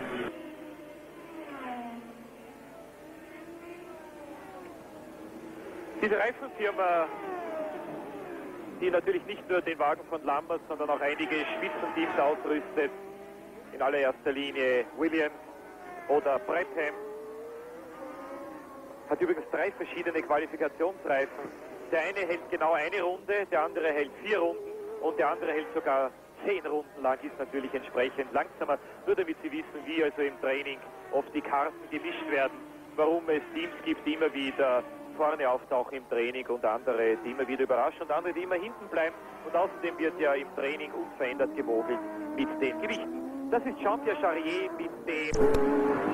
And uh, now on lap 45, the positions remain Didier Pironi, who has led right from the early stages of this race. Indeed, he took the lead on lap 5, and he now holds it on lap 45 from Nelson Piquet, who has, I think, little chance of catching the Frenchman in the Italian Ferrari who leads. In third position, Keke Rosberg, and I don't think he's got any chance of catching uh, Piquet. In fourth position, no change there, Niki Lauda, who has displaced, of course, Tambay, who is now down to sixth position with Daly in fifth place. And in seventh position is Bruno Giacomelli, eighth is Michele Alboreto, and we see now the ninth man Baldi. And Alboreto has just slipped past Giacomelli going to happen. There's still that little gaggle of cars. And meanwhile, Pironi has caught them up, is trying to lap them, but they're so busy fighting each other, understandably. Tambay has got out of the way. Now, it's most extraordinary manoeuvres going on. Tambay, I think, saw what was happening behind and went to start letting people through. But uh, Alboreto was the only person who was interested in getting past to that stage. Uh, Giacomelli, I think, has let the Ferrari through, dropped back a bit as a result. So we'll see what happens because this is a chance for Alboreto driving yet again a very good race indeed. He's really come on extremely well this year, driven very steadily and very quickly at times when his car has been up to it and he's certainly putting on a good show here it'll be interesting to see if he can fight his way past Tambay. Yes, Michele Alboreto, who many people thought might be offered a place in the Ferrari team after Gilles Villeneuve's tragic death. But uh, Enzo Ferrari himself is very, very cautious about appointing. There goes, uh, I was going to say there goes Pironi past Alboreto, but he doesn't. But Al uh, now Alboreto is ahead of Tambay, and so has Pironi lapped his teammates. So it is now on lap 47, Pironi leading Piquet second, Rosberg third, Lauda fourth, Daly fifth, and up into sixth position has gone Alboreto. Most extraordinary. Alboreto's Turo went down the straight like a turbocharged car. He appeared to pull away from so one has a suspicion that the Ferraris may be losing a bit of power. Pironi's got a big enough lead, I think, for that not to be a problem for him. But you see, look at that Tyrrell just streaking away, and Tambay is definitely falling back. So it may be they're getting an overheating problem or something, but they both seem to be struggling against the Tyrrell. And Alboreto is going at a huge speed there. Well, now, let us watch this very carefully because the gap between Didier Pironi, who is leading and that we're looking at now, on lap 47 and Nelson Piquet has come down to 26 seconds, and it was over 30 seconds. James has suggested that the Ferraris may be losing power. You can see that uh, Pironi either can't or doesn't want to get ahead of Alboreto. I can't believe it's the latter. Alboreto is in the Ford V8 powered car. Now Pironi is, I think, going to surge past him on the straight. Yes, he seemed to go past him fairly comfortably then, but not didn't really gobble him up. It's uh, hard to say, but if they have both lost power together, the Ferraris, it's, uh, it, does, it says, in a way, good things for their, the standard of their engineering, because if you can get the same failure at the same length of life for a car, it means you've at least put everything together exactly right and beautifully matched, although you've probably got your design wrong. But uh, Alboreto still holding on to Pironi very well indeed. So Pironi is definitely not going as quickly, and of course you've been in a big hurry now you'll be aware that his uh, lead is being eked away by Piquet, who still looks in excellent health. Yes, and Pironi, of course, has now lapped everybody up to fifth place now that he has got uh, past Alboreto, who is in sixth position.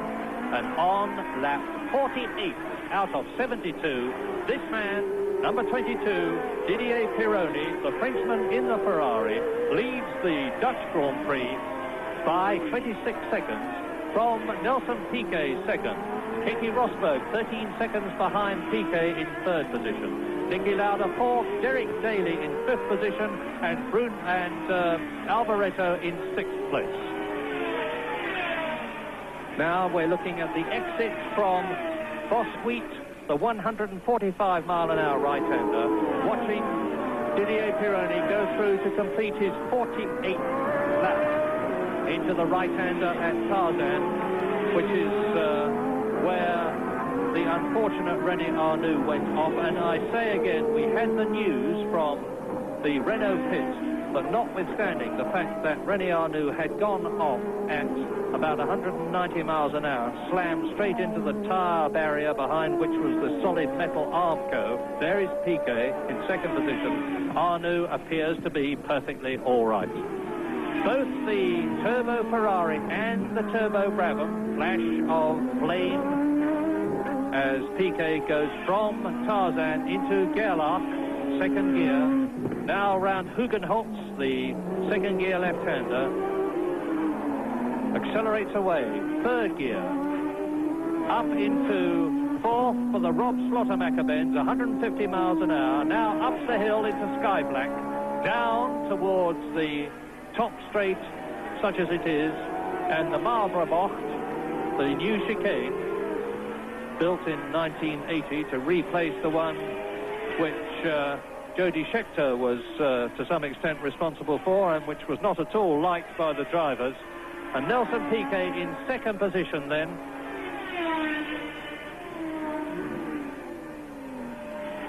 This Brazilian driver has doggedly decided to risk his World Championship this year in order to do what he thinks is the right thing which is to devote all his energies and attention to developing the new turbocharged BMW engine, which he com is convinced is the way to go. And it looks as though he is right. We just saw Keke Rosberg there in uh, third position. Well, the gap between Rosberg and Piquet is now some 11 seconds. And it looks as though Rosberg is gaining. There he is. There is the very, very determined, hard-charging Finnish driver, Keke Rosberg, in his 45th Grand Prix in the very cobby-looking FW08 Williams. The car that has replaced the enormously successful FW07 Williams, which took Alan Jones to his World Championship and nearly gave Carlos Reutemann a World Championship last year. And Rosberg as ever, is fighting every inch of the way. You can see him as he comes out of Scheivlak there with the car sliding under perfect control. Challenging or trying to challenge Nelson Piquet for second position. And we're now on lap 51 in this 72 lap, 190.2 mile race. Mickey Rosberg. This is the panorama bench. Fourth gear here into Bos Uit, 145 miles an hour. He goes around this right-hander, believe it or not, into the long straight at Hootsup. Now, building up to 190 miles an hour, it seems, and they don't back off until they get to the, to the 100-meter board. You have to see it to believe it. And there is Niki Lauda. So, on lap 51 out of 72, Pironi leads. Piquet second, Rosberg third, Lauda fourth, Daly fifth, Alboreto sixth, Tambay seventh, Giacomelli, eighth, and in ninth position, Mauro Baldi in the Pirelli shod arrows. And I draw attention to the tyres because they are making an enormous difference to the performance of the Tolemans and the Arrows cars in the first Grand Prix in which they have been used. Niki Lauda here, position. Not doing anything very much at the moment about uh, Rosberg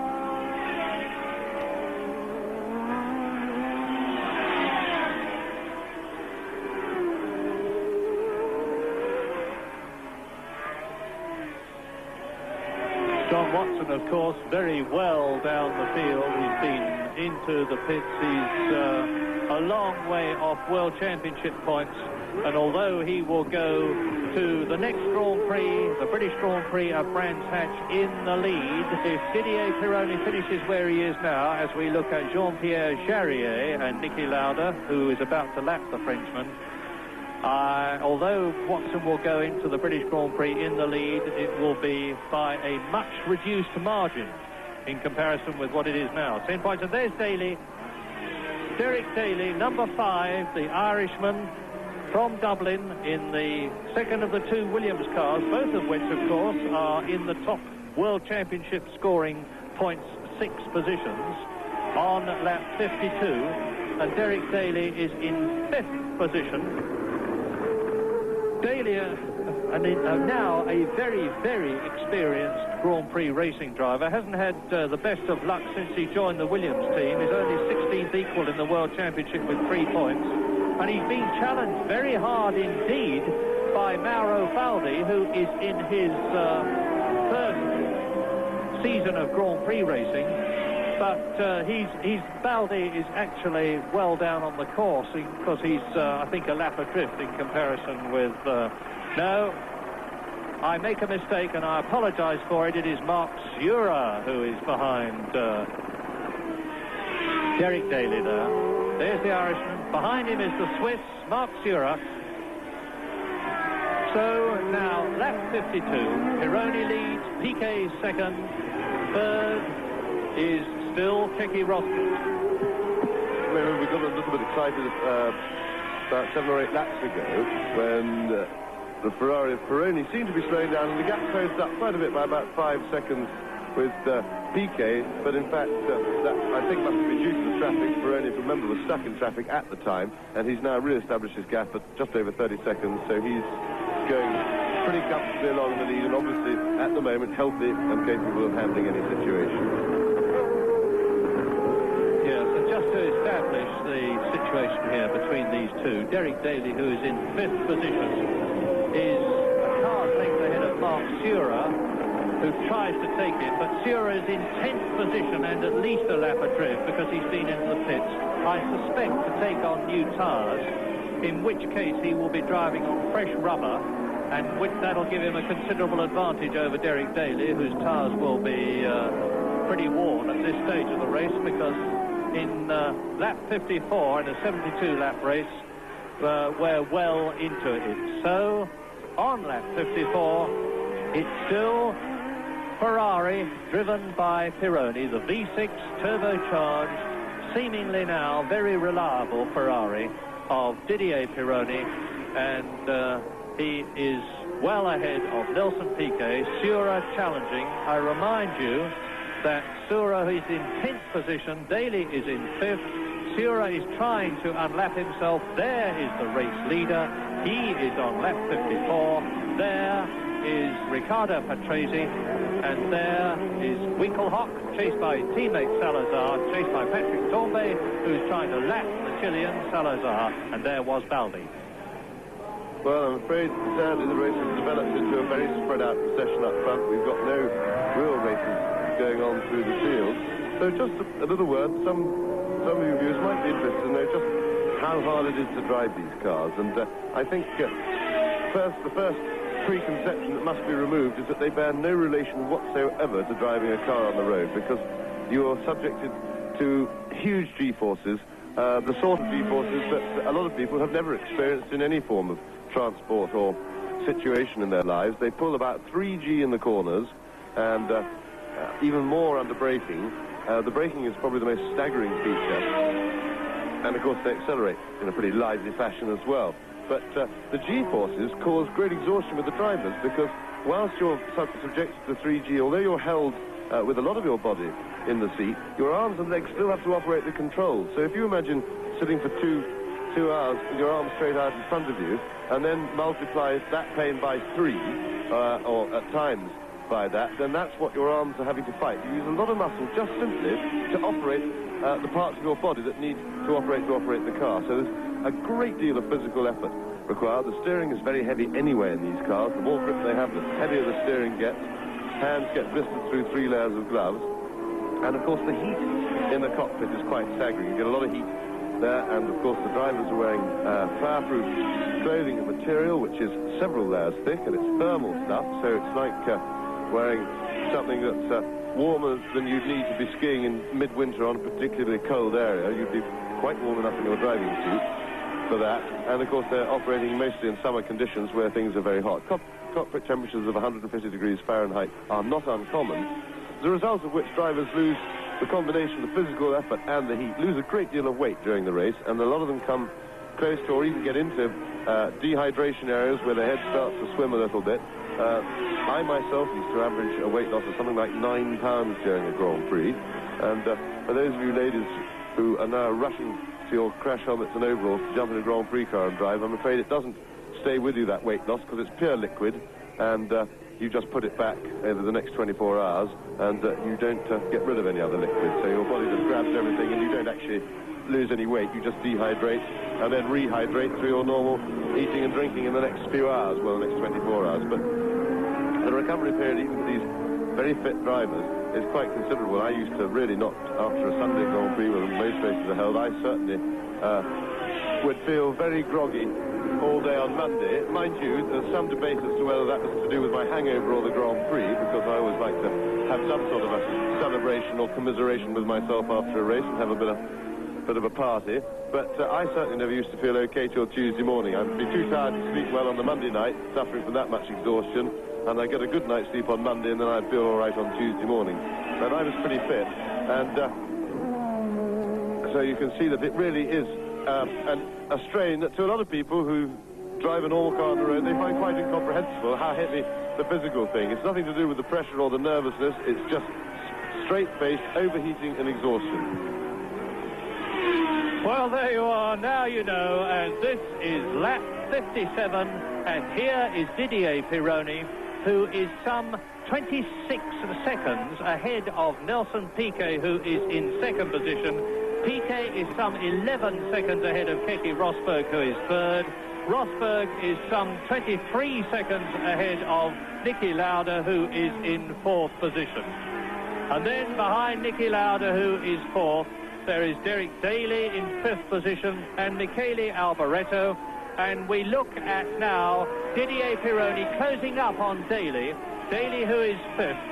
Pironi, the race leader, is about to lap, or will fairly soon lap Derek Daly. And then we'll have lapped everybody except Niki Lauda and Keke Rosberg, a pretty devastating demonstration of Ferrari and Pironi combined superiority.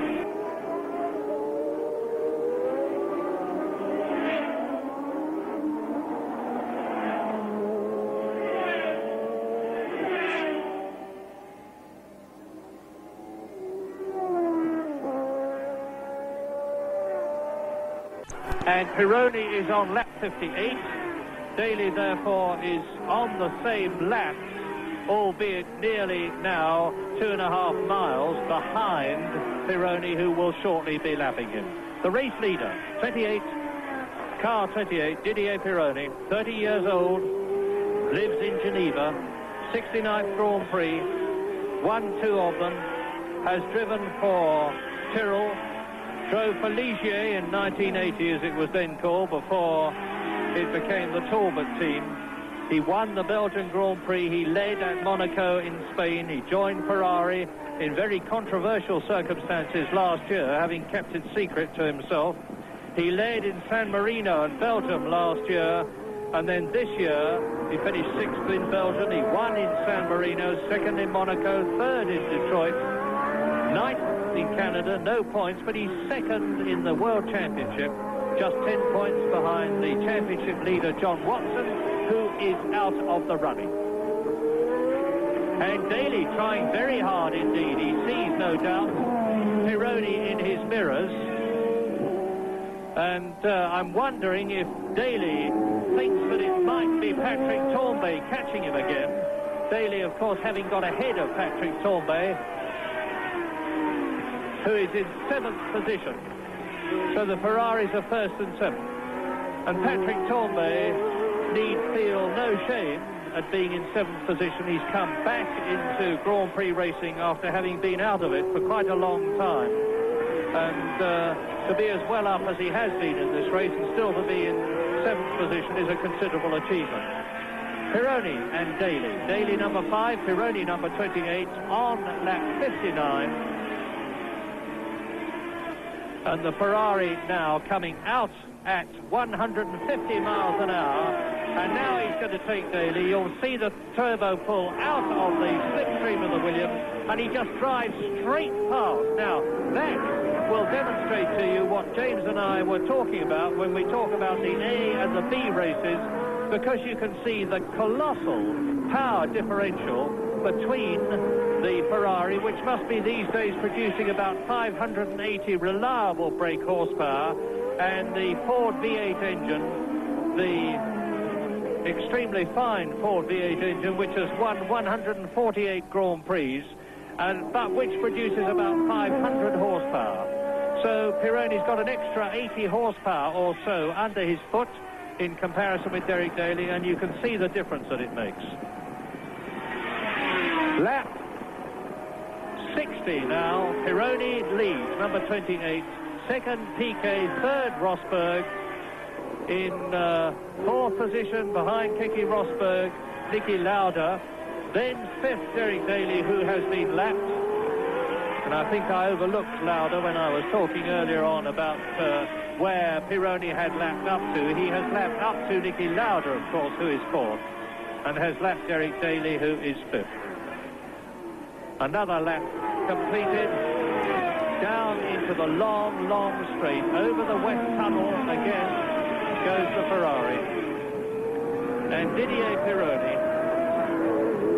the very chubby Frenchman, who, harking back to what James was saying, loses an enormous amount of weight every time he gets in the car. When he, when he, when Pironi gets out of the car, he really does look as though he's been in a sauna inside his overalls.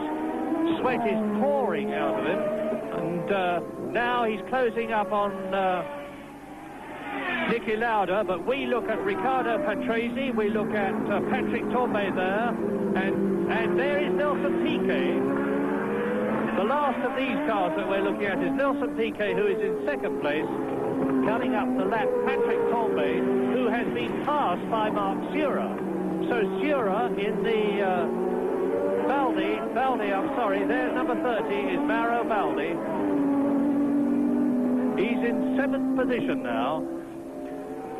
And a restatement of the positions would help. Lap 61, Pironi leads, Piquet second, Rosberg third, Lauda fourth, Daly, who has been lapped, is fifth, Alboreto is sixth, Baldi is seventh, and Patrick Tambay, number 27 in the background there, is down to eighth position. And he has been lapped, of course, by Nelson Piquet, which is the th in the third of these two, four cars that we're looking at at the moment.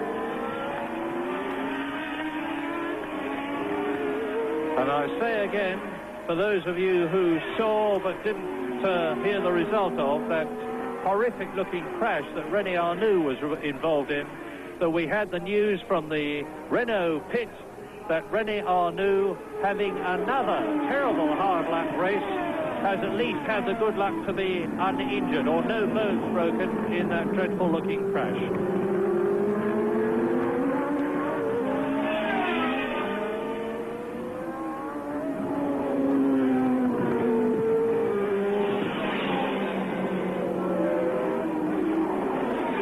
Well, you can see now that uh, Riccardo Patrese, having been passed by Piquet, must be having some kind of trouble. He's about to be uh, passed too by Patrick Tambay, who is in eighth position.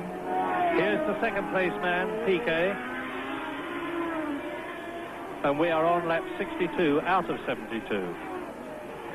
So Pironi's uh, problem is more to keep going and to maintain the gap between himself and Piquet than to extend it because he has got a very comfortable cushion. In fact, Pironi has actually gone through to start his 63rd lap as Piquet comes down towards the Bos Uit and Rosberg now is right up with uh, Tambay there. They're getting very spread out over the course. Here is Piquet coming down now.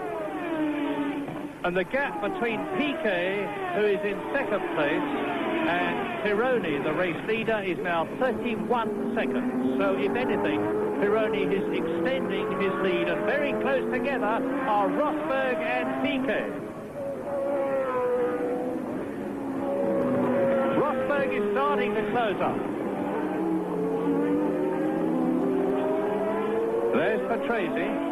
There's Patrese, and he's uh, battling with Rosberg, who dives through, or does he, at the Rob Slotemaker curve? Yes.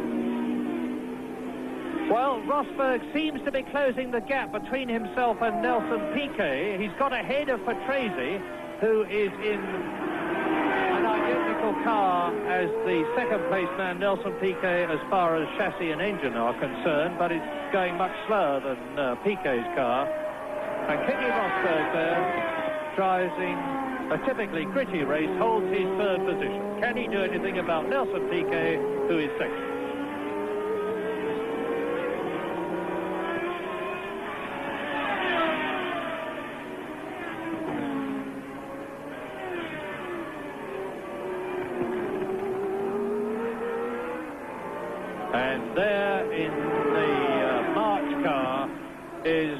German driver Jochen Mass, who's got one Grand Prix victory behind him, the Spanish Grand Prix in 1975.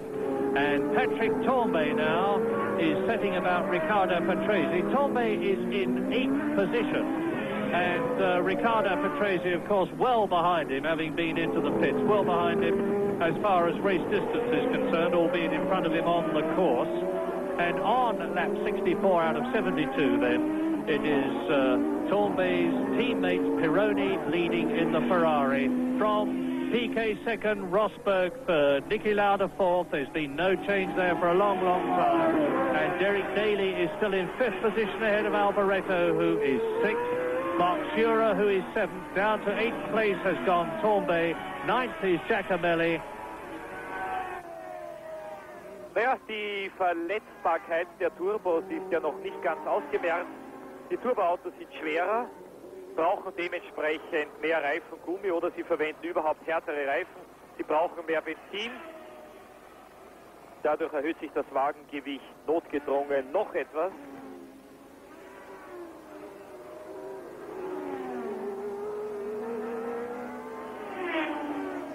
Der Vorsprung von Pironi. And there's Rosberg. Rosberg gesticulating to Sura, I suspect to thank him for letting him pass. And Tambay now is going to take the opportunity to get past Riccardo Patrese on braking at Tarzan and pulls away, having completed 64 laps in comparison with the race leaders. 60 sorry, 63 laps in comparison with the race leaders, 64. The race leader being his teammate Didier Pironi. And Pironi now is 34 seconds ahead of Piquet, who is only four seconds ahead of Rosberg. So Keke Rosberg is really charging.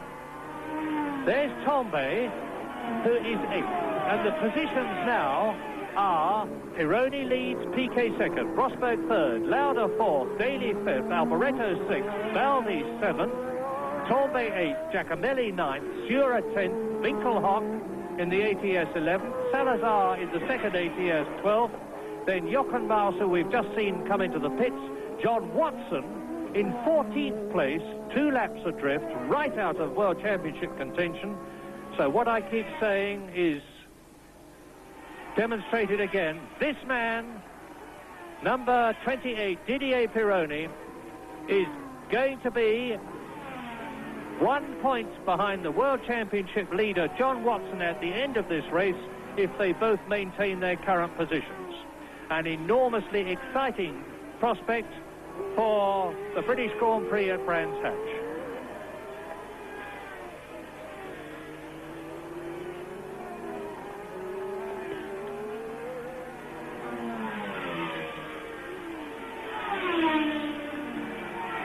We will be moving from a picture point of view soon, I hope, from Didier Pironi to the tremendously exciting battle which is developing between Nelson Piquet and the third position man, Keke Rosberg, who is now only three and a half seconds behind Piquet. Yes, late charge by Rosberg. Piquet is quite likely to have more worn tyres than Rosberg. These turbocharged cars have to carry more fuel, they're heavier, they've got more power, so they put quite a lot more load through the tyres than the lighter, nimbler, three-litre normally aspirated engine cars. And uh, Rosberg is catching quite fast. He's going to come right up to Piquet, but the problem is he's only three seconds behind now, but he's got uh, big problems as usual to pass him when he gets there. Uh, because whilst the Brabham appears to be slowing down a little on handling, it doesn't appear to be in any way unhealthy. The engine sounds fine uh, in the engine department, and uh, he will. It's already proved today to be the fastest of even the turbo cars. So Rosberg's got a real battle on his hands.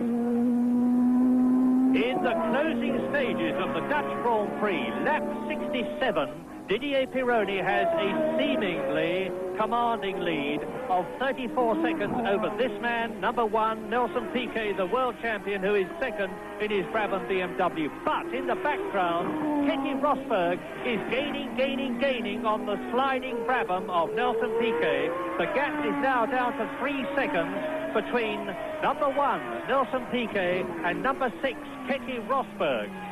Battling for second and third places. There is Rosberg. It looks less than three seconds to me now. They will soon be going through to complete their 68th lap in this 72-lap race. And Keke Rosberg looks as though he could take second place.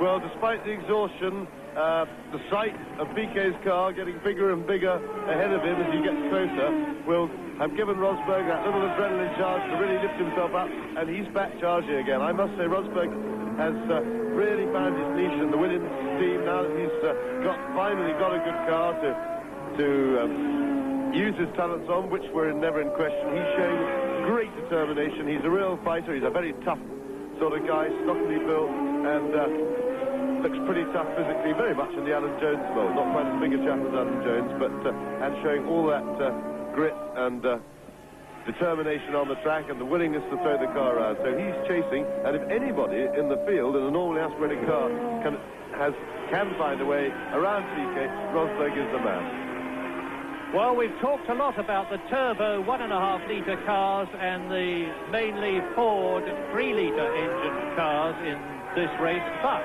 the fact is that on lap 68, there are only two turbos left in the top six, which are the World Championship scoring positions, and they are the first and second cars, the Ferrari of Pironi and the Brabham BMW of Piquet. And there is Keke Rosberg in third position, and I'll be able to give you the gap this time as they come out of the corner which leads into the long straight. And Nelson Piquet goes past me now, and Rosberg goes past me now, and the gap is 3.42 seconds. So Piquet has actually slightly extended his lead.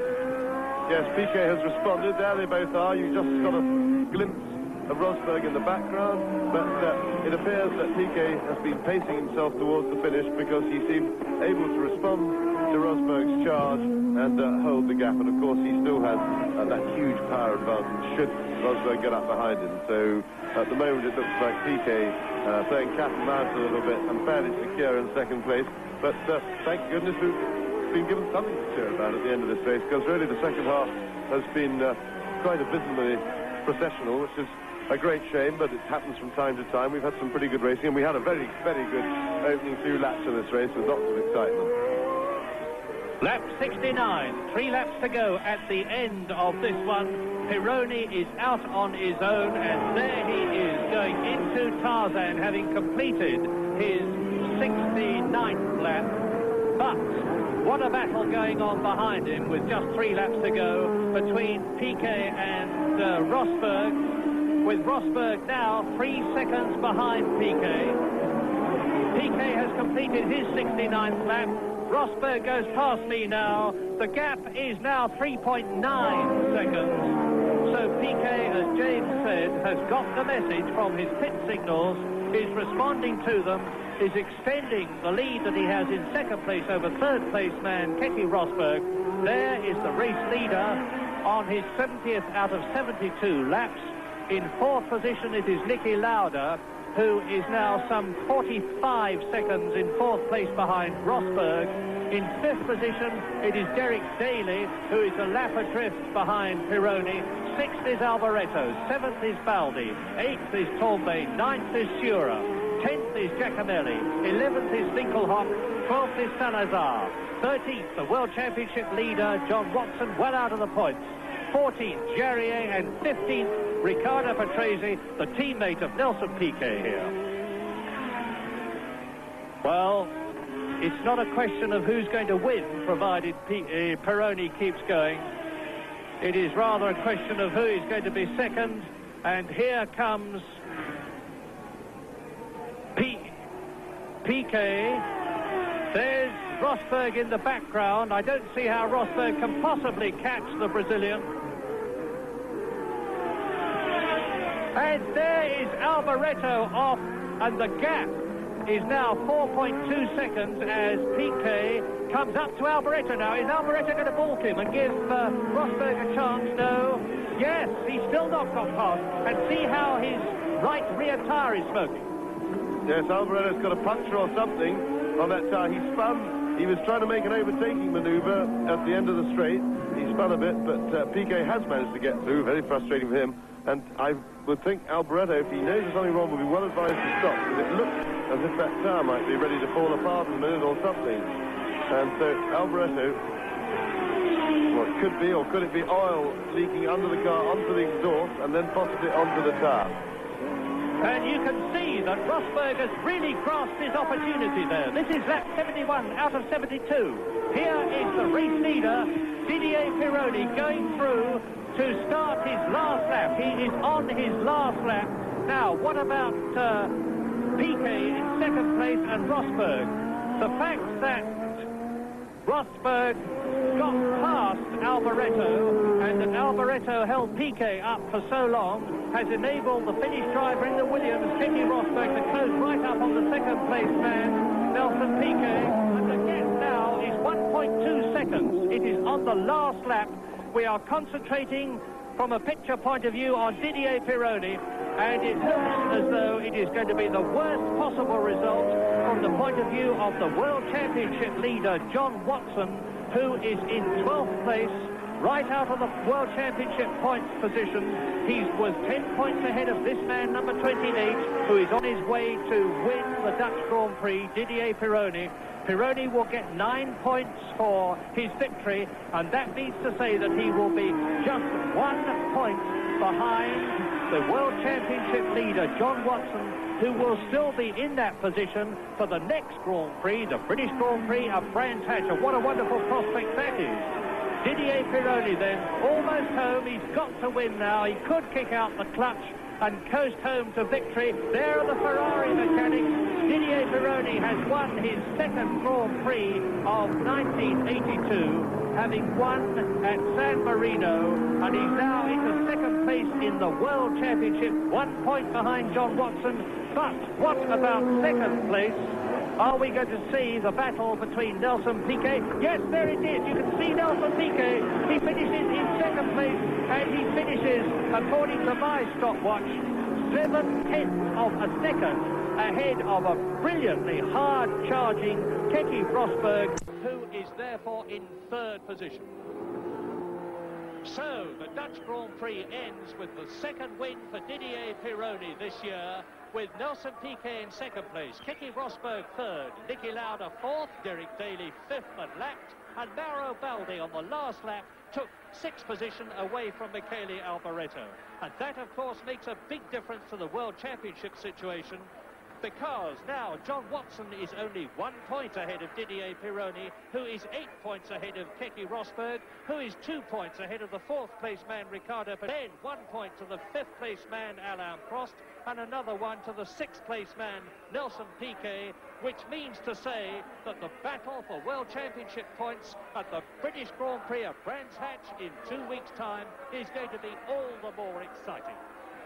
oder durchs Ziel gekommen. Lauda damit Vierter geworden. Drei Punkte für den Österreicher im heutigen Grand Prix von Holland. Und das ist die Auslaufrunde des Siegers von heute, Didier Pironi. Der dritte Grand Prix-Sieg in der Karriere des Franzosen, dessen Großvater ja aus Italien stammt, daher auch dieser italienisch klingende Name. Derek Daly ist mit einer Runde Rückstand Fünfter geworden. Mauro Baldi Sechster ist damit der 23. Fahrer, der in der Weltmeisterschaft 1982 Punkte für die Weltmeisterschaft gewonnen hat, hat vom Dreher Michele Alboreto zwei Runden Verschluss also doch noch profitiert. Baldi Sechster, Alboreto Siebenter, Tampe Achter, Zura Neunter. Damit ist Zura der einzige Fahrer, der die letzten fünf Grand Prix-Rennen ausnahmslos beendet hat. Die letzten fünf deshalb, weil Zura ja erst vor fünf Rennen ein Comeback wieder gefeiert hat. Und zwar nach seinem schweren Testunfall in Kirlami. Zura Neunter mit einer Runde Rückstand. Dann haben wir mit zwei Runden Rückstand Zehnter Giacomelli, Elfter Winkelhock, Zwölfter Watson, 13. Salazar und mit drei Runden Rückstand 14. Charrier und 15. Patrese. John Watson kommt als Weltmeisterschaftsführender zum großen Preis von England nach Brands Hatch. Niki Lauda ist auf den siebenten Platz zurückgefallen, wurde heute von äh, Nelson Piquet also überholt. Watson, Pironi, Rosberg, Patrese, Prost, Piquet und Lauda. 15 Punkte trennen die ersten sieben. Hier Sie noch einmal Stanford aus der Hubschrauberperspektive.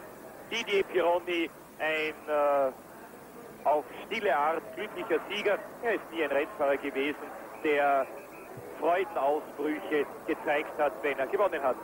Naja, und damit hat Didier Pironi die Liste jener Fahrer, zur Liste jener Fahrer ausgeschlossen, die drei Grand Prix-Siege haben. Die Engländer Mike Hawthorne und Peter Collins, der Amerikaner Phil Hill, interessanterweise ausnahmslos Ferrari-Fahrer. Und hier haben Sie noch einmal den Sieger von heute, den 30-jährigen Franzosen Didier Pironi auf Ferrari. Er ist nach dem Unglück Gilles Villeneuve Ferraris einzige Hoffnung, heuer noch den Weltmeistertitel zu gewinnen. Und er ist drauf und dran, diese Hoffnung möglicherweise auch zu erfüllen. Ein sehr interessantes Gespräch ist Jean-Marie Balestre und Didier Pironi. Sie wissen, Pironi ist ja auch der Präsident der neu gegründeten Profi-Rennfahrervereinigung.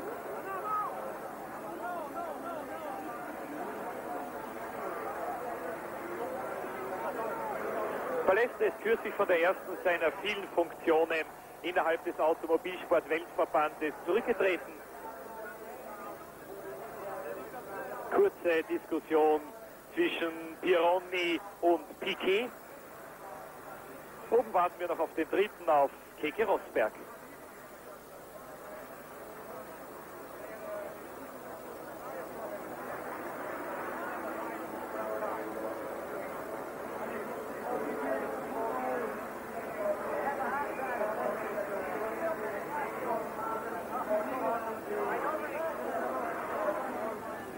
Ich weiß nicht, ob Sie das Siegerinterview mit Didier Pironi hören konnten. Ich habe es leider nicht hören können, kann Ihnen also dadurch nicht sagen, was er zu seinem Erfolg gesagt hat. Keke Rosberg hat den beiden Konkurrenten gratuliert. Pironi und Piquet. Links Rosberg, in der Mitte Pironi und rechts Piquet. Aber Sie kennen, glaube ich, die Grand Prix-Fahrer ohnehin schon längst seit unseren vielen Übertragungen. Erster Ferrari-Sieg in Holland seit Niki Lauda 1977. Zweiter Ferrari-Saisonsieg 1982. Dritter Grand Prix-Sieg in der Karriere von Didier Pironi. Das ist der Lohn für äh, tausende Kilometer Testeinsatz. Es gibt weniger Rennfahrer, die so viel testen wie Didier Pironi, aber er nützt die Möglichkeiten auf der Ferrari-Teststrecke Fiorano genauso aus, wie sie früher Niki Lauda ausgenützt hat. Es gibt ja keinen anderen Rennstall, der solche Möglichkeiten hat, um äh, neue Autos abzustimmen, um Modifikationen an den Autos zu erproben, wie Ferrari in Fiorano eigenes äh, Fernsehsystem es gibt Computer, man kann das Fahrverhalten des Autos auf jeden Zentimeter der Strecke nicht nur filmen, sondern äh, natürlich auch speichern, stoppen, jederzeit auf Abruf äh, bereithalten. Es sind unglaubliche Dinge, die die Techniker von Ferrari in Fiorano lernen können.